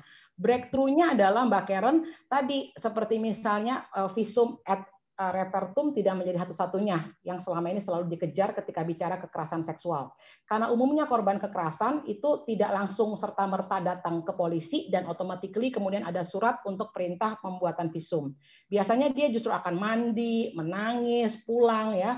Some of them itu bahkan akan bulan depannya baru akan bilang bahwa dia korban perkosaan, tahun depannya dan itu hak dia, nggak ada masalah tentang itu menurut saya. Nah, yang penting kemudian adalah bagaimana ada ada uh, apa terobosan-terobosan terkait dengan alat pembuktian. Ya, kalau itu Mas Rian tanya, iya itu ada di Undang-Undang PKS. Jadi di RUU PKS ada itu. Dan yang berikutnya juga ada juga terkait dengan misalnya tadi ya, jadi ada kan ada pidana akan automatically akan ada pidana pokok lalu ada pidana tambahan. Pidana tambahan itu termasuk pencabutan pencabutan pengasuhan, hak pengasuhan. Jadi itu nanti ada lewat putusan pengadilan. Tapi untuk yang keluarga yang Mbak Karen ini eh, saya jadi gini, bedanya keluarga dengan yang bukan itu Mas Rian adalah pelaku dan korban saling mengenal. Apalagi kalau udah ada kata CINTA. Ini sudah betul-betul deh main-mainan itu kalau udah ada udah ada kata cinta itu itu ada banyak sekali kompleksitas lagi di dalamnya. Jadi kalau Mbak Karen juga cerita tentang satu kasus tadi di tanggal yang tadi, tapi kan sekarang Mbak Karen bisa ngomong bahwa diinget-inget lagi recall ternyata saya banyak ngalamin dulunya. Jadi biasanya hmm. kekerasan domestik itu terjadi berulang-ulang. Dan puncaknya biasanya ketika sudah menyangkut ancaman nyawa. Jadi itu terobosan-terobosannya Mas Rian di eh, RUU PKS yes, tapi hanya membatasi pada lingkup kekerasan seksual Di Undang-Undang PKDRT ada beberapa problem termasuk di situ sebetulnya sebetulnya ada satu pasal yang kita katakan eh, satu saksi ditambah satu alat bukti yang sah itu bisa proses lanjut. Tapi ternyata diketiknya akhirnya bukan satu tapi suatu. Dan polisi nggak mau lagi. Ya, betul Mbak Karen. Jadi mintanya tetap dua lagi. Jadi saksi tadi tetap tidak berlaku lagi. Jadi ini challenge uh, challenge buat uh, kita. Itu di Undang-Undang PKDRT kita kelewatan Mbak Karen. Uh, kata satu tiba-tiba diketiknya jadi suatu. Ya di DPR kan pasal hilang juga ada ya. Iya, pasal seluman juga pernah di Eropa Tebakalan. Oke, kita simpan dulu tadi saya mau kasih ya untuk komentar, tapi karena waktu saya juga mulai time conscious ya. Pasti kita akan agak stretch out. Saya pikir mungkin sampai jam 9 kurang kita akan coba diskusi malam ini. Saya coba geser ke Sis Imelda nih yang juga uh, passionate banget di bidang perempuan dan anak gitu, kesetaraan gender dan pemenuhan hak perempuan anak. Mungkin akan share uh, ceritanya. Uh, ya, maksudnya saya ini forum buat saya nih mungkin agak bias saya baru pertama kali jadi laki-laki moderasi acara di mana benar-benar belak-belakan sisi perempuan bisa jadi malu gitu. Lah saya mau ganti kelamin saya malam ini tapi kan nggak bisa. Benar-benar ngeselin banget. Silakan sih Melda. Silakan. Sip Mas Ria, Bro Rian. Uh, uh, tadi waktu uh, si Karen cerita, uh, aku harus matiin video karena itu ya apa kita ya dengan secara natural itu benar-benar kerasa langsung seret ya. Mau napas aja susah gitu karena uh, aku juga uh, I've been there gitu loh. Jadi ketika aku tahu kasus kayak si Karen pertama kali di Februari tahun lalu itu waktu aku ngeliat TV itu aku uh, bener-bener langsung kayak apa kayak itu happen to me gitu. Jadi tanganku langsung dingin gitu kan. Uh, apa di hatiku ini di dada tuh sesek nggak enak kepala pokoknya seluruh uj, apa uh, dari ujung kepala sampai ujung kaki itu rasanya nggak enak gitu. Jadi uh, waktu itu aku berdoa dalam hati sih gitu apa aku pengen bisa ketemu sama Karen dan bisa setidaknya uh, berbagi gitu loh berbagi uh, I've been there gitu karena kasusku aku juga uh, dipisahkan dari anakku dan berjuang selama hampir dua tahun jadi waktu itu kondisi anakku masih bayi 13 bulan masih menyusu asi uh, hingga terpisah dua tahun itu sampai anakku sempat memanggil aku tante gitu. Itu buat seorang ibu rasanya super dahsyat sakit ya, minta ampun sakitnya gitu. Jadi uh, uh, karena pernah mengalami itu dan aku berjuang uh, sama nggak nggak nggak terima gini maksudnya gini. Buat aku uh, kejahatan atau perilaku salah itu nggak boleh didiamkan gitu loh karena semakin didiamkan, dia akan terus merajalela gitu. Semakin kita uh, diamkan, dia akan terus uh, dan terus gitu, dan akan memakan korban-korban yang lain.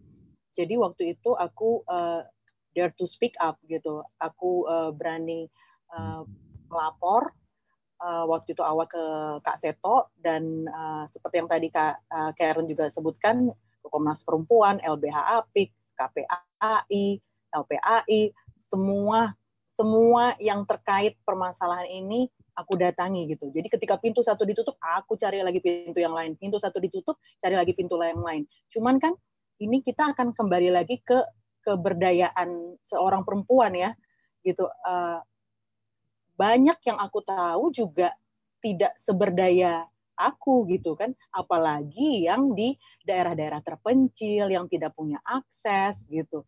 Bagaimana nasib teman-teman dan saudara-saudara kita ini gitu loh ketika mereka mengalami suatu tindak kekerasan gitu.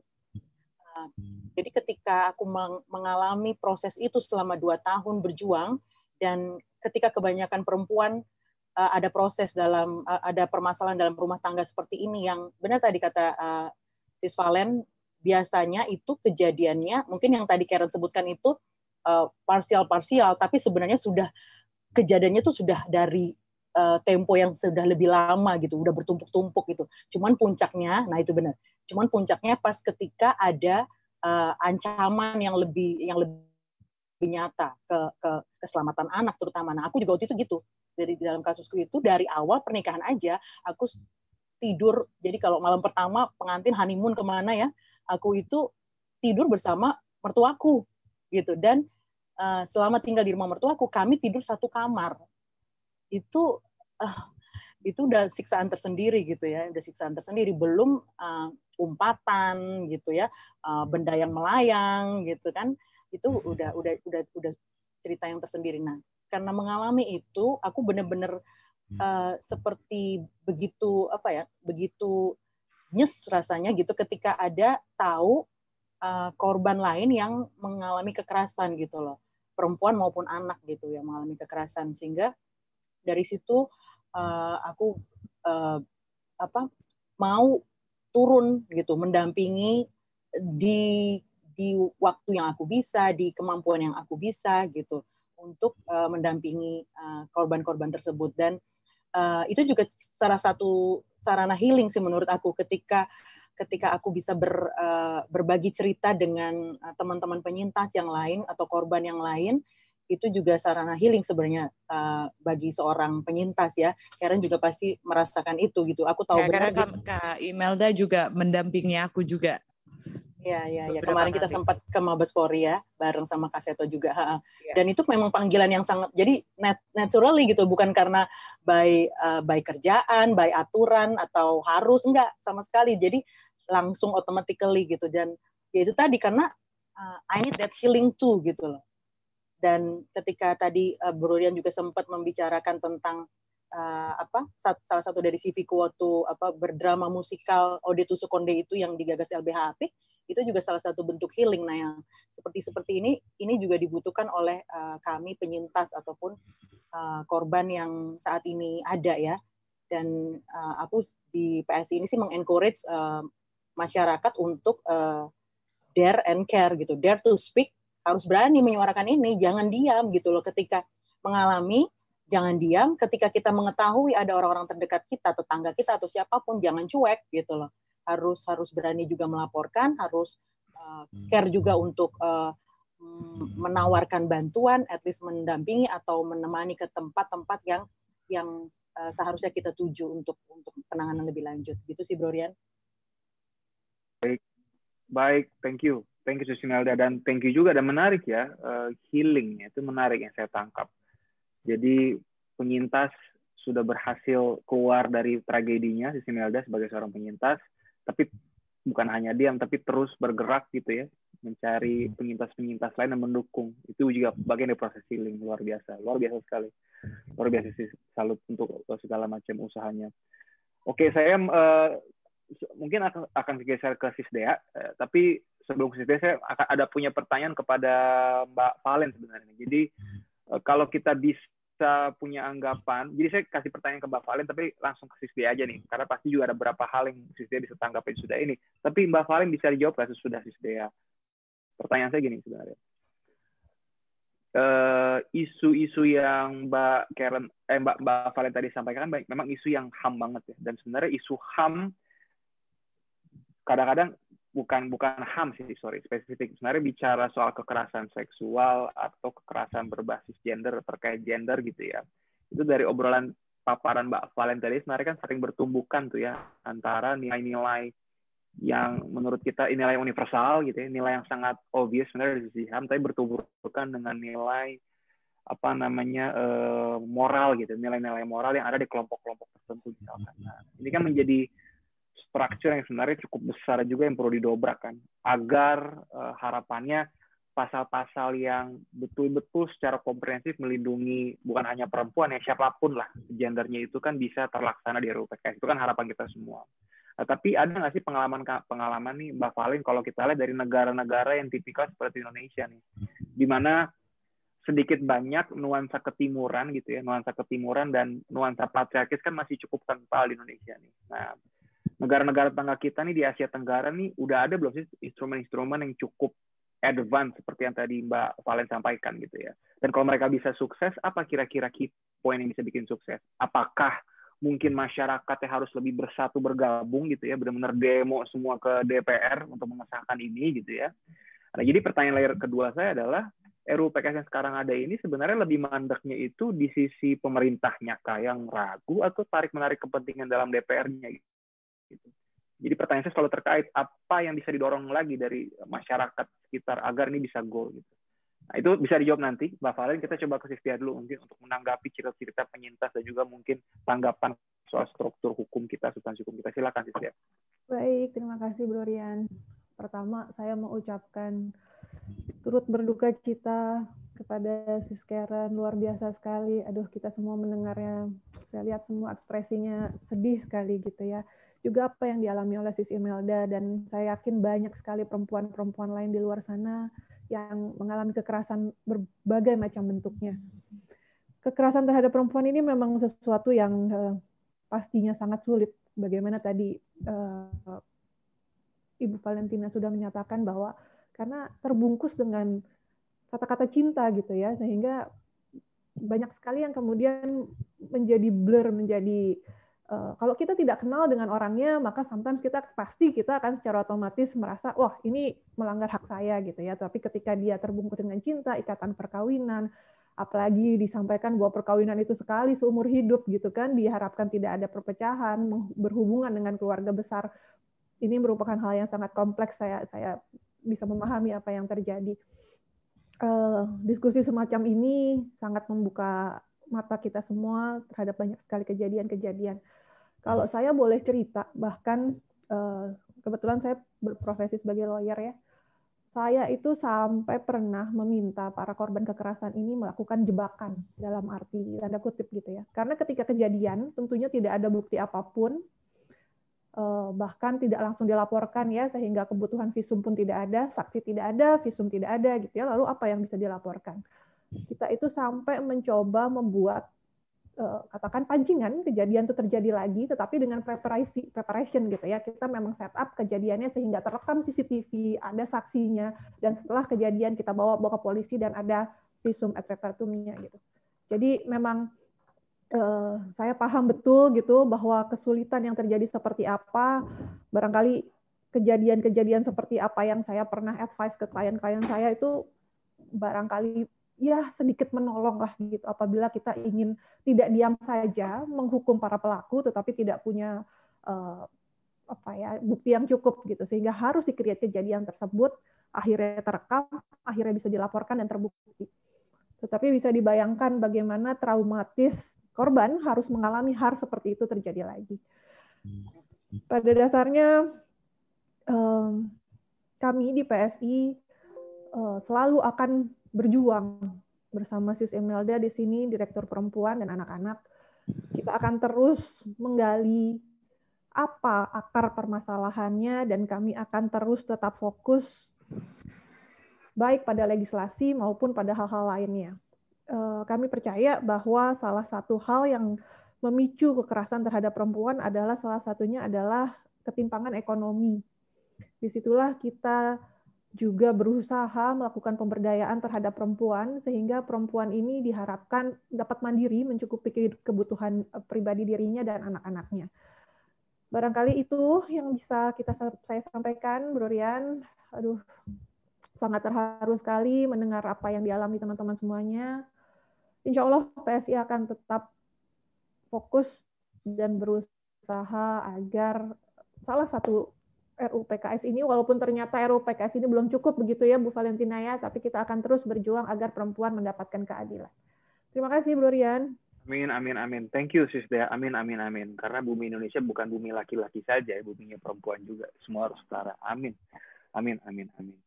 Uh, silakan, mungkin Mbak Valen uh, menanggapi pertanyaan pemantik dari saya tadi. Silakan. Mm -mm. Mm, jadi kalau ditanya, um, tapi sebelum saya lupa, tadi saya mau bilang tadi yang disampaikan oleh Mbak Dea tadi, uh, sebetulnya kalau uh, kita tetap menargetkan agar RUU PKS ini bisa menutup ya lubang-lubang yang kurang. Uh, tapi memang dia akan tetap kekerasan seksual itu aja problemnya, karena ruang lingkupnya memang akan kekerasan seksual. Sementara tadi misalnya Mbak Karen misalnya mengatakan juga saya pikir juga Mbak Imelda mengatakan ada kekerasan lain yaitu kekerasan fisik, kekerasan psikis, uh, psikis ya dan juga tadi kan ada larangan bekerja. Itu sebetulnya konteksnya penelantaran uh, apa disebutnya uh, ini dulu waktu dulu waktu memperjuangkan undang-undang PKDRT, dulu tuh empat bentuk itu tuh nyontek dari uh, deklarasi penghapusan kekerasan seksual. Jadi tadinya itu adalah uh, ekon apa uh, fisik kekerasan fisik, kekerasan psikis, kekerasan seksual, dan kekerasan ekonomi. Tapi nyampe di DPR, di Komisi 8 ya waktu itu, saya lupa tuh di balik, itu memang nggak dapet.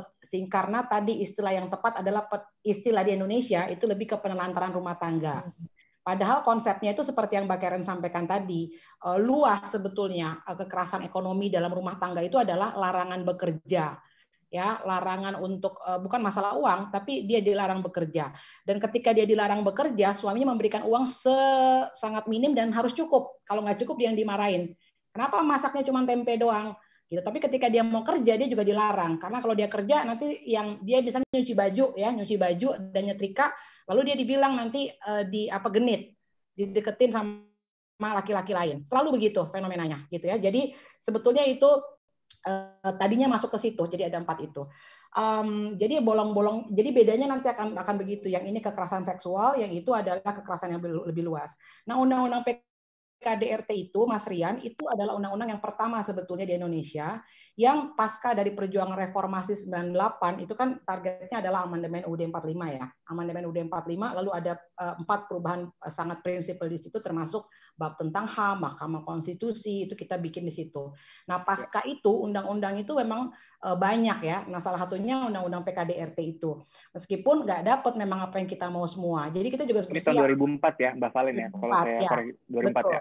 2004. Jadi nanti kita juga akan begini di RUU PKS nih. Apa yang kita dapat ya dari kita fight nanti hmm. dalam uh, politik hukum nanti di pembahasan itu nanti kita akan lihat pasal-pasal mana yang akan di drop pada akhirnya gitu atau pasal-pasal mana yang kemudian akan menjadi uh, um, abu-abu ya.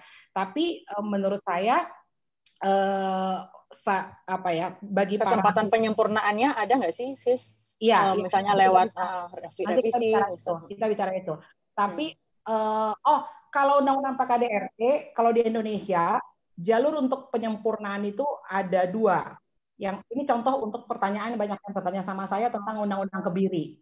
Ya, undang-undang kebiri ini pada ribut ribut tentang PP kebiri. Saya bilang PP kebiri itu nggak bisa dirubah karena PP PP tidak boleh mengeluarkan pemidanaan. Pemidanaan itu diatur dalam undang-undang ya terkait dengan jadi orang pada ribut lagi sekarang kan karena keluarnya PP peraturan uh, pemerintah padahal uh, kata kuncinya adalah undang-undang untuk mengubah undang-undang ada dua jalur yang pertama adalah men-challenge-nya di judicial review di Mahkamah Konstitusi harus korban langsung yang akan maju ke situ untuk men-challenge. Yang kedua adalah lewat legislasi. Legislasi bisa amandemen perubahan pasal dan lain sebagainya. Tapi kalau di kita ini kita harus lihat Undang-Undang 12 2011 karena harus ada di prolegnas. Nah, uh, tadi Mas Rian tanya, uh, Mas Rian, uh, saya nggak mau bicara negara Islam aja ya. Uh, let's say, tapi masalah perempuan ya, masalah perempuan itu quite challenging misalnya di ini di Filipina. Filipina itu negara Katolik, jadi memang sangat-sangat disiplin, sangat-sangat keras ya terkait dengan ya di sana uh, perkawinan ya perkawinan harus satu sehingga yang terjadi adalah banyak pemaksaan pelacuran pelacuran kemudian untuk aborsi mereka sangat keras sekali sehingga sempat ada ada ada apa ada banyak riset terkait dengan uh, penghentian kehamilan yang tidak aman di Filipina karena memang orang perempuan tidak boleh sama sekali memiliki tubuhnya uh, dan lain sebagainya. Saya dulu pernah ikut conference di Filipina dan di depan itu di demo karena dibilang ini para feminis ateis yang tidak bertuhan sebuah bawa salib gitu gitu padahal saya Kristen sejati. Ya tapi ini, hmm. ini some of the issue. So what I want to show is ini bukan isu fundamentalisme Islam versus human rights saja tapi ini isu di banyak area ya universality dan yang lain. Nah um, jadi memang kalau misalnya ditanya uh, untuk PKDRT dulu kita banyak belajar dari Filipina. Dulu jadi kalau teman-teman tanya tentang uh, eh, UPPA itu unit uh, Women Police Desk yang sekarang ada disebut dengan PPT PPT itu ya um, apa namanya unit pelayanan perempuan yang sekarang namanya di di Police Desk Police Desk. Dulu kita banyak belajar ke sana uh, pasca 2004 ya orang pemerintah kita uh, banyak uh, belajar ke sana dulu RSCM menjadi satu center yang dibikin untuk percontohan melihat. Jadi memang uh, kita hmm, tanda kutip memang tertinggal karena tadi undang-undang ini baru uh, apa undang-undang ini baru satu langkah nanti. Jadi setelah undang-undang berikutnya adalah bagaimana agar layanan ini real. Jadi seperti tadi yang Mbak Karen sampaikan, um, ya kita bayangkan saja tadi ya untuk psikiatrik ya psikiatrik itu sekali sekali datang itu Mas Dian itu 500 ribu sampai 750 ribu itu di luar obat gitu. Nah bagaimana mengcover ini untuk korban KDRT? Karena kalau tidak di cover yang terjadi adalah resiko perempuan itu kemudian mengalami banyak lagi masalah. Ini problem berikutnya. Ya, saya pernah ada kasus dulu di Bandung, ibu membunuh anak karena dia adalah korban dari KDRT bertahun-tahun yang tidak mendapatkan pertolongan gitu. Jadi ini problem kita bersama, bagaimana tadi ya layanan-layanan ini. Itu saya pikir um, yang juga bisa, yang harus di, uh, dipikirkan ya, karena tadi Mbak Karen sudah menyampaikan, sudah menyampaikan, um, so, and also the budget, the budget is very important. Saya minta maaf aja gitu, ini budget tumpang tindih semua nih Mas Rian gitu. Ya kadang-kadang, sorry to say ya, tapi di lapangan saya harus bilang uh, di lapangan, ini KDRT bukan Mbak Valen. Terus KTP-nya KTP mana? Nah, gitu. Itu baru KDRT. Gimana kalau trafficking? Trafficking itu ya korban Indramayu, orang Indramayu ya diperdagangkan, diperjual, nyampe di Germo, dia di Bandung mau dibawa transit ke Jakarta. Ketangkap di Bandung. Di Bandung mau masuk ke unit pelayanan ditanya KTP-nya. Ini bukan warga Bandung. Jadi nggak bisa visum gratis misalnya. Dan hmm. itu itu itu sampai kayak gitu-gitu tuh kita harus pikirin loh. Gitu. Jadi terus mau maunya gimana nih? Mau balik lagi ke sana ke ke di Indramayu karena dia nggak punya KTP Indramayu. Ya, hmm. ini di lapangan tuh kita nih para pejuang benar-benar harus sampai ke situ kalau menurut saya. Kita harus belajar hmm. banget dari pengalaman yang ada.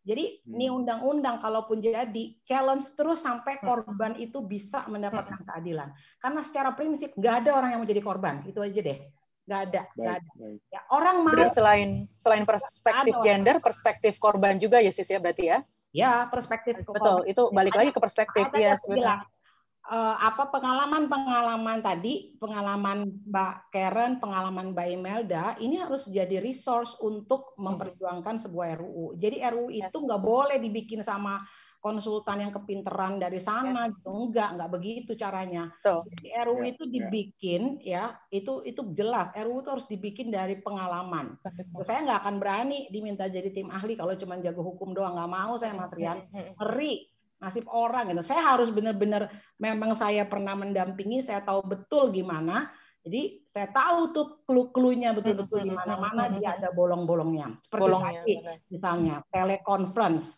gitu ya telekonferensi sejauh mana nih telekonferensi kalau dia miskin Mas Rian di kampung dari kampung harus ke pengadilan itu ongkosnya aja udah untuk makan tiga hari.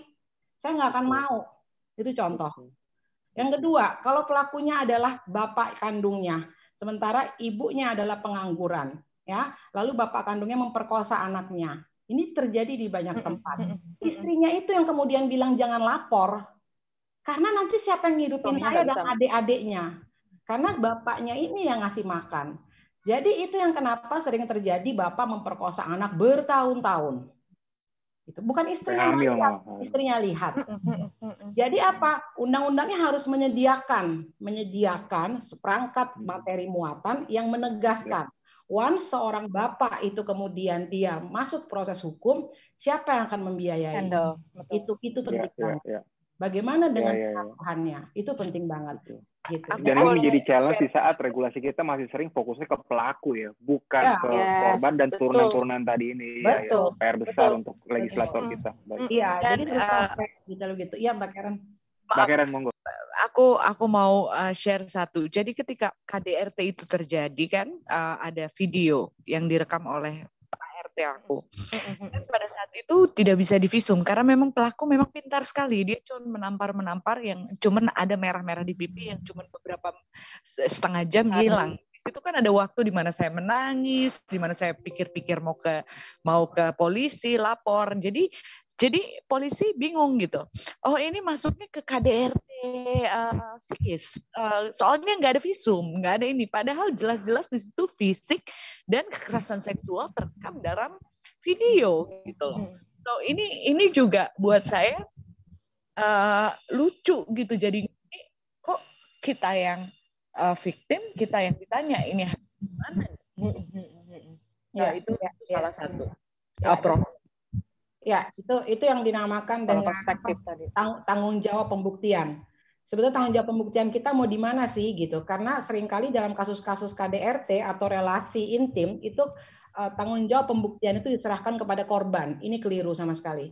Jadi tanggung jawab pembuktian harus diserahkan kepada APH aparat penegak ya. hukum. Itu yang penting. Betul, betul. Jadi negara memang harus hadir ya, bukan yes. membebankan banyak hal kepada betul. korban, Oh iya, iya, negara, harus, harus ada. ada yang menjadi korban dan itu ada dalam konstitusi dengan jelas. Jadi emang harus. Betul. betul. Nah sedikit tadi soal RUPKS ya tadi uh, pada nanya ya. tadi Mbak Imelda juga Mas Rian. Jadi RUPKS ini kalau ditanya inisiatifnya adalah inisiatif DPR. Ya, sekarang masuk lagi ke 2021 dalam Prolegnas 2021 baru masuk.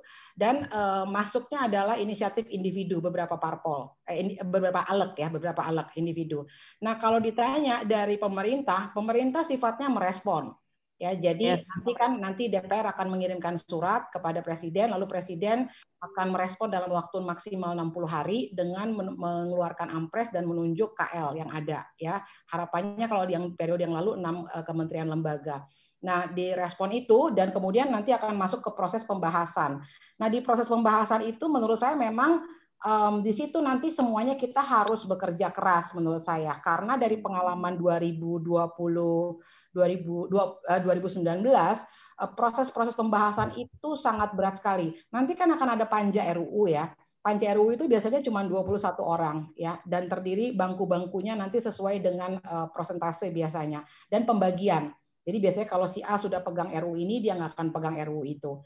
Nah nanti di dalam pada proses pembahasan itulah teman-teman, itu semua harus menurut saya bergerak untuk ngawal semua. Ya ngawal semua jadinya. Eh, baik mengawal alak-alak anggota panja, mengawal pimpinan-pimpinan partai politik gitu. Uh, karena setiap pembahasan itu memang akan nanti um, sangat tergantung pada teman-teman ini. Proses di dalam nanti kan tetap aja pemerintah nggak bisa kirim undangan. Jadi saya nemenin KPPA, KPPA yang nunggu aja undangan dari ini kan, undangan dari DPR. DPR. Jadi um, that's the truth gitu bahwa jadi meskipun kita demo kementerian pun kementerian bingung mereka cuma bisanya nelfon nelfon terus gitu. Saya ya nggak bisa ngapa-ngapain kami dari pemerintah gitu. Jadi uh, memang DPR uh, eh, itu dinamikanya harus kencang banget sehingga mereka dan kalau mereka mau mereka bikin rapat tiga hari berturut-turut bisa itu Mas Rian. Bisa kalau mereka mau. Dan pemerintah akan pasti ikut nggak mungkin enggak karena tadi pemerintah undangan pembahasan itu memang datangnya dari DPR dan DPR-nya nanti akan panja RUU. Jadi untuk sekarang panja RUU belum terbentuk, target kita adalah ini dibahas di Balek. Gitu. Nah, untuk ini lobby-lobby yang penting sekarang menurut saya adalah ini dibahas di Balek. Itu dulu. Nah, kalau ini sudah dibahas di Balek, kenapa penting? Karena 2019 dibahas di Komisi 8. Komisi 8 komisinya agama. Jadi tadi Mas Rian udah nanya sama saya, ini benturannya gimana Bu Valen? Waduh, terbentur-bentur lah sudah di Komisi 8 itu. Terbentur-bentur, bukan terbentur-bentur lagi di situ hmm. karena itu hmm. komisinya agama urusannya hmm. urusan RU haji perspektifnya udah nggak nyambung betul ya apalagi jadi, apalagi isu agama dan politik lagi hangat-hangatnya artinya bisa jadi panggung yang sangat seksi untuk beberapa politisi yang mau pansos ya betul betul jadi mungkin bagusnya balek ya kalau saran yes. saya sih balek lebih netral hmm. ya uh, dan nanti betul. setelah itu begitu masuk pada proses pembahasan pepet teruslah untuk uh, watch DPR. Orang-orang kayak Mbak Karen, Mbak Imelda ini harus datang ke sana ketemu ngomong langsung. Yes, itu cara satu-satunya karena hmm, we will.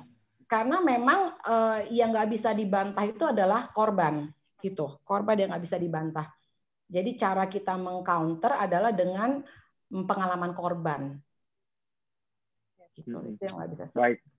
Thank you, thank you Mbak Valen. Karena waktu juga teman-teman, uh, saya mengingatkan bagi semua teman-teman yang menonton acara ini, bagi bro dan sis kalian yang ingin mendapatkan sertifikat ikut sertaan dalam diskusi ini untuk para ini ya penonton ya, yang mendapatkan sertifikat itu silakan mengisi form di tautan uh, https titik dua eh, garing dua kali s titik id garing disku PSI. Paling lambat harus diisi sebelum jam 12 malam hari ini. Lewat dari jam 12, mohon maaf, karena panitia sudah menentukan jam 12 adalah cut-off-nya. Setelah jam 12, mohon maaf, nggak bisa diproses. Untuk tautannya, kalau mungkin tadi nggak bisa menyimak yang saya sebutkan, bisa melihat di uh, link ada di running text di Facebook dan YouTube ya. Jadi teman-teman yang perlu sertifikat bisa dapatkan itu. Nah, terakhir saya minta seluruh teman-teman narasumber di sini mulai dari Mbak Valen, Sis Dea, Mbak Karen, Sis Imelda, satu menit aja, singkat ya satu menit, sampaikan harapan dan pesan kepada legislator yang sekarang dalam waktu dekat akan perjuangkan nih ya RUU PKS ini gitu ya. Satu menit aja. Kira-kira apa sih titipan harapan dan amanah ya semenit aja. Nah, saya mulai akan terbalik. Kita mulai dari Sis Imelda, baru Mbak Karen, baru Mbak Valen, baru Sis Dea untuk penutup. Silakan mulai dari Sis Imelda satu menit. Oke, okay. uh, dari aku, aku pengen eh, ingin mengajak kita semua, terutama teman-teman yang saat ini duduk di DPR, untuk melihat uh, isu kekerasan uh, terhadap perempuan dan anak khususnya atau kekerasan berbasis gender ini bukan isu uh, jenis kelamin ya, jadi bukan isu perempuan saja, tapi ini lebih ke isu kemanusiaan gitu loh, isu uh, kemanusiaan yang benar-benar harus kita uh, memiliki hati dan berperspektif yang tepat dalam uh, mendorong supaya RUU PKS ini yang terutama sudah ada di depan mata bisa segera uh, didiskusikan dengan lebih dengan lebih uh, padat dengan dengan target yang jelas untuk uh, segera disahkan tentunya. Karena ini adalah satu terobosan yang sangat diperlukan oleh uh, siapa pun yang mungkin uh, saat ini um, mengalami atau pernah mengalami gitu sebagai korban. Itu aja sih Bro Rian. Thank you. Berikutnya Mbak Karen silakan Mbak. Silakan. Kalau aku berharap lembaga-lembaga perlindungan perempuan dan anak baik yang um, dari negara dan independen lebih kencang lagi menyuarakan ini karena mereka yang dilihat aja adalah ujung-ujung tombak juga untuk um, perlindungan perempuan dan anak, ayo bekerja. Bekerja dengan benar dan baik dan pada tempatnya supaya suara-suara perempuan-perempuan dan um, kekerasan perempuan dan uh, anak perempuan khususnya ya kalau kalau kalau saya berbicara secara pribadi saya itu bisa sampai kepada uh, Bapak Presiden dan supaya ini tuh cepat langsung di bisa langsung ditangani tanpa proses yang berbelit-belit lagi. Baik, amin. Amin, amin, amin, amin. amin. Silakan uh, Mbak Valen. Silakan satu menit. Hmm. Saya tuh lemas soalnya suruh berharap-harap terus, Mas Rian. Aduh, oke, okay, saya mau lanjutin ya yang uh, yang disampaikan Mbak Karen tadi ini udah uh, kesekian kali saya dengar uh, banyak sekali kesedihan tentang jadi saya tuh berharap betul semua lembaga negara yang dipilih um, uh, by Pak Presiden maupun juga DPR ini coba didengerin ya bagaimana mereka yang mendapatkan dana dari APBN untuk bekerjalah dengan uang rakyat itu untuk bagaimana semestinya just just don't do business as usual please gitu loh. Yes. apa apa aduh ini udah nggak zamannya lagi gitu loh doing business as usual gitu. Coba temukan break breakthrough oh, macam breakthrough. Karena intervensi dari eksekutif melulu juga nggak baik menurut saya ya. Baik ini banyak yang bilang sama saya, baik Nuril bisa begitu karena nyampe ke Pak Presiden. Mungkin Mbak Karen nggak begitu karena nggak nyampe ke Presiden. Ini gimana kita mau ngeberesin negara ini kalau begini?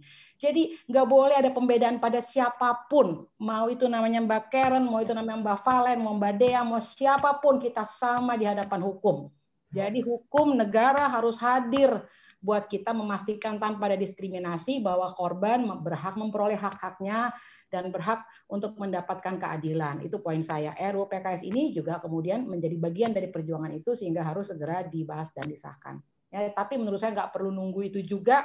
Itu nomor satu. Cuman yang at the same time we can do a lot of things just to make sure our own house ya rumah kita family dan juga institusi yang kita ada itu kemudian membangun sistem pencegahan dan penanganan kekerasan berbasis gender itu harapan saya. Terima kasih. Amin, amin, amin, Mbak Valen, amin. Terakhir, silakan ya sebagai penutup. Baik, uh, Bro Rian, semua sudah menyampaikan bahwa urgensi diundangkannya segera RUU PKS ini memang sudah tidak bisa ditunda-tunda lagi, sehingga saya dan semua teman-teman di sini dan saya rasa semua rakyat Indonesia sudah mengetuk hati, kita bukan lagi hanya meminta, tapi kita mengetuk hati, RUU PKS harus sesegera mungkin disahkan sehingga tidak ada lagi korban kekerasan. Barangkali itu pun nanti belum cukup, kami akan terus memperjuangkan apa pun yang kami harus lakukan, termasuk salah satu halnya tadi kita ingin perempuan ini mandiri sehingga berdaya, sehingga secara ekonomi dia tidak bergantung kepada laki-laki dan diharapkan dapat menurunkan angka kekerasan. Itu saja, Bro Rian. Eh, kami di PSI iya. akan terus terus berjuang agar keadilan bagi perempuan bisa dinikmati oleh semua perempuan. Terima kasih, Bu Rian. Boleh tambahin satu amin, dikit amin. lagi, Bro Rian, sedikit aja. Silakan, sih, ah, ya. Aku melihat uh, kenapa ini masih terus terjadi karena ini masalah fundamentalnya adalah di masalah perspektif ya. Jadi memang negara kita harus intervensi, intervensinya ke berbagai sektor, terutama sektor pendidikan gitu. Jadi untuk Bro Menteri Nadiem Makarim yang sekarang ini uh, dikasih mandat untuk memimpin Kemen, Kementerian Pendidikan, uh, jelas uh, kami titip banget gitu loh uh, untuk uh, perspektif gender equality, gender equality ini masuk ke dalam kurikulum uh, pendidikan kita. Basicnya di uh, pendidikan dasar kalau bisa dimulai usia dini itu lebih bagus lagi karena nggak bisa kita harapkan sekonyong-konyong orang sudah di level pendidikan tinggi atau yang sudah mengemban jabatan, tiba-tiba perspektifnya berubah sesaat. Hanya karena uh, kita demo atau hanya karena uh, uh, uh, iklan iklan muncul gitu iklan masyarakat muncul tidak mungkin gitu. Karena ini sesuatu yang dibangun sejak usia dini gitu sih bro. Jadi harus kita bersama-sama ya semua mengambil peran. Yes. apa pun kita bisa lakukan agar hal seperti itu terjadi lagi luar biasa. Amin amin amin. Dan dan saya sebagai moderator bisa bicara kayak tadi bisa benar malu gitu sama lagi kayak gitu karena mungkin saya juga secara dari kecil produk single parent ya. Jadi saya selalu melihat hmm. perempuan hebat itu wajar banget gitu. Uh, bahkan kalau gaji lebih gede daripada laki-laki, so what? Ya bagus mah kan bangga dong harusnya suaminya.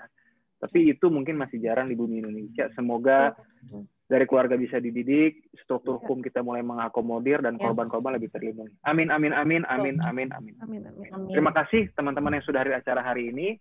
Uh, inilah diskusi pada malam hari ini. Uh, semoga bisa menambah perspektif kita semua dan membuat uh, perempuan Indonesia lebih kuat, lebih setara dengan laki-laki. Kita semua agar lebih baik lagi hidupnya. Terima kasih, terima kasih, terima kasih. Selamat malam. Selamat malam. Selamat malam semua.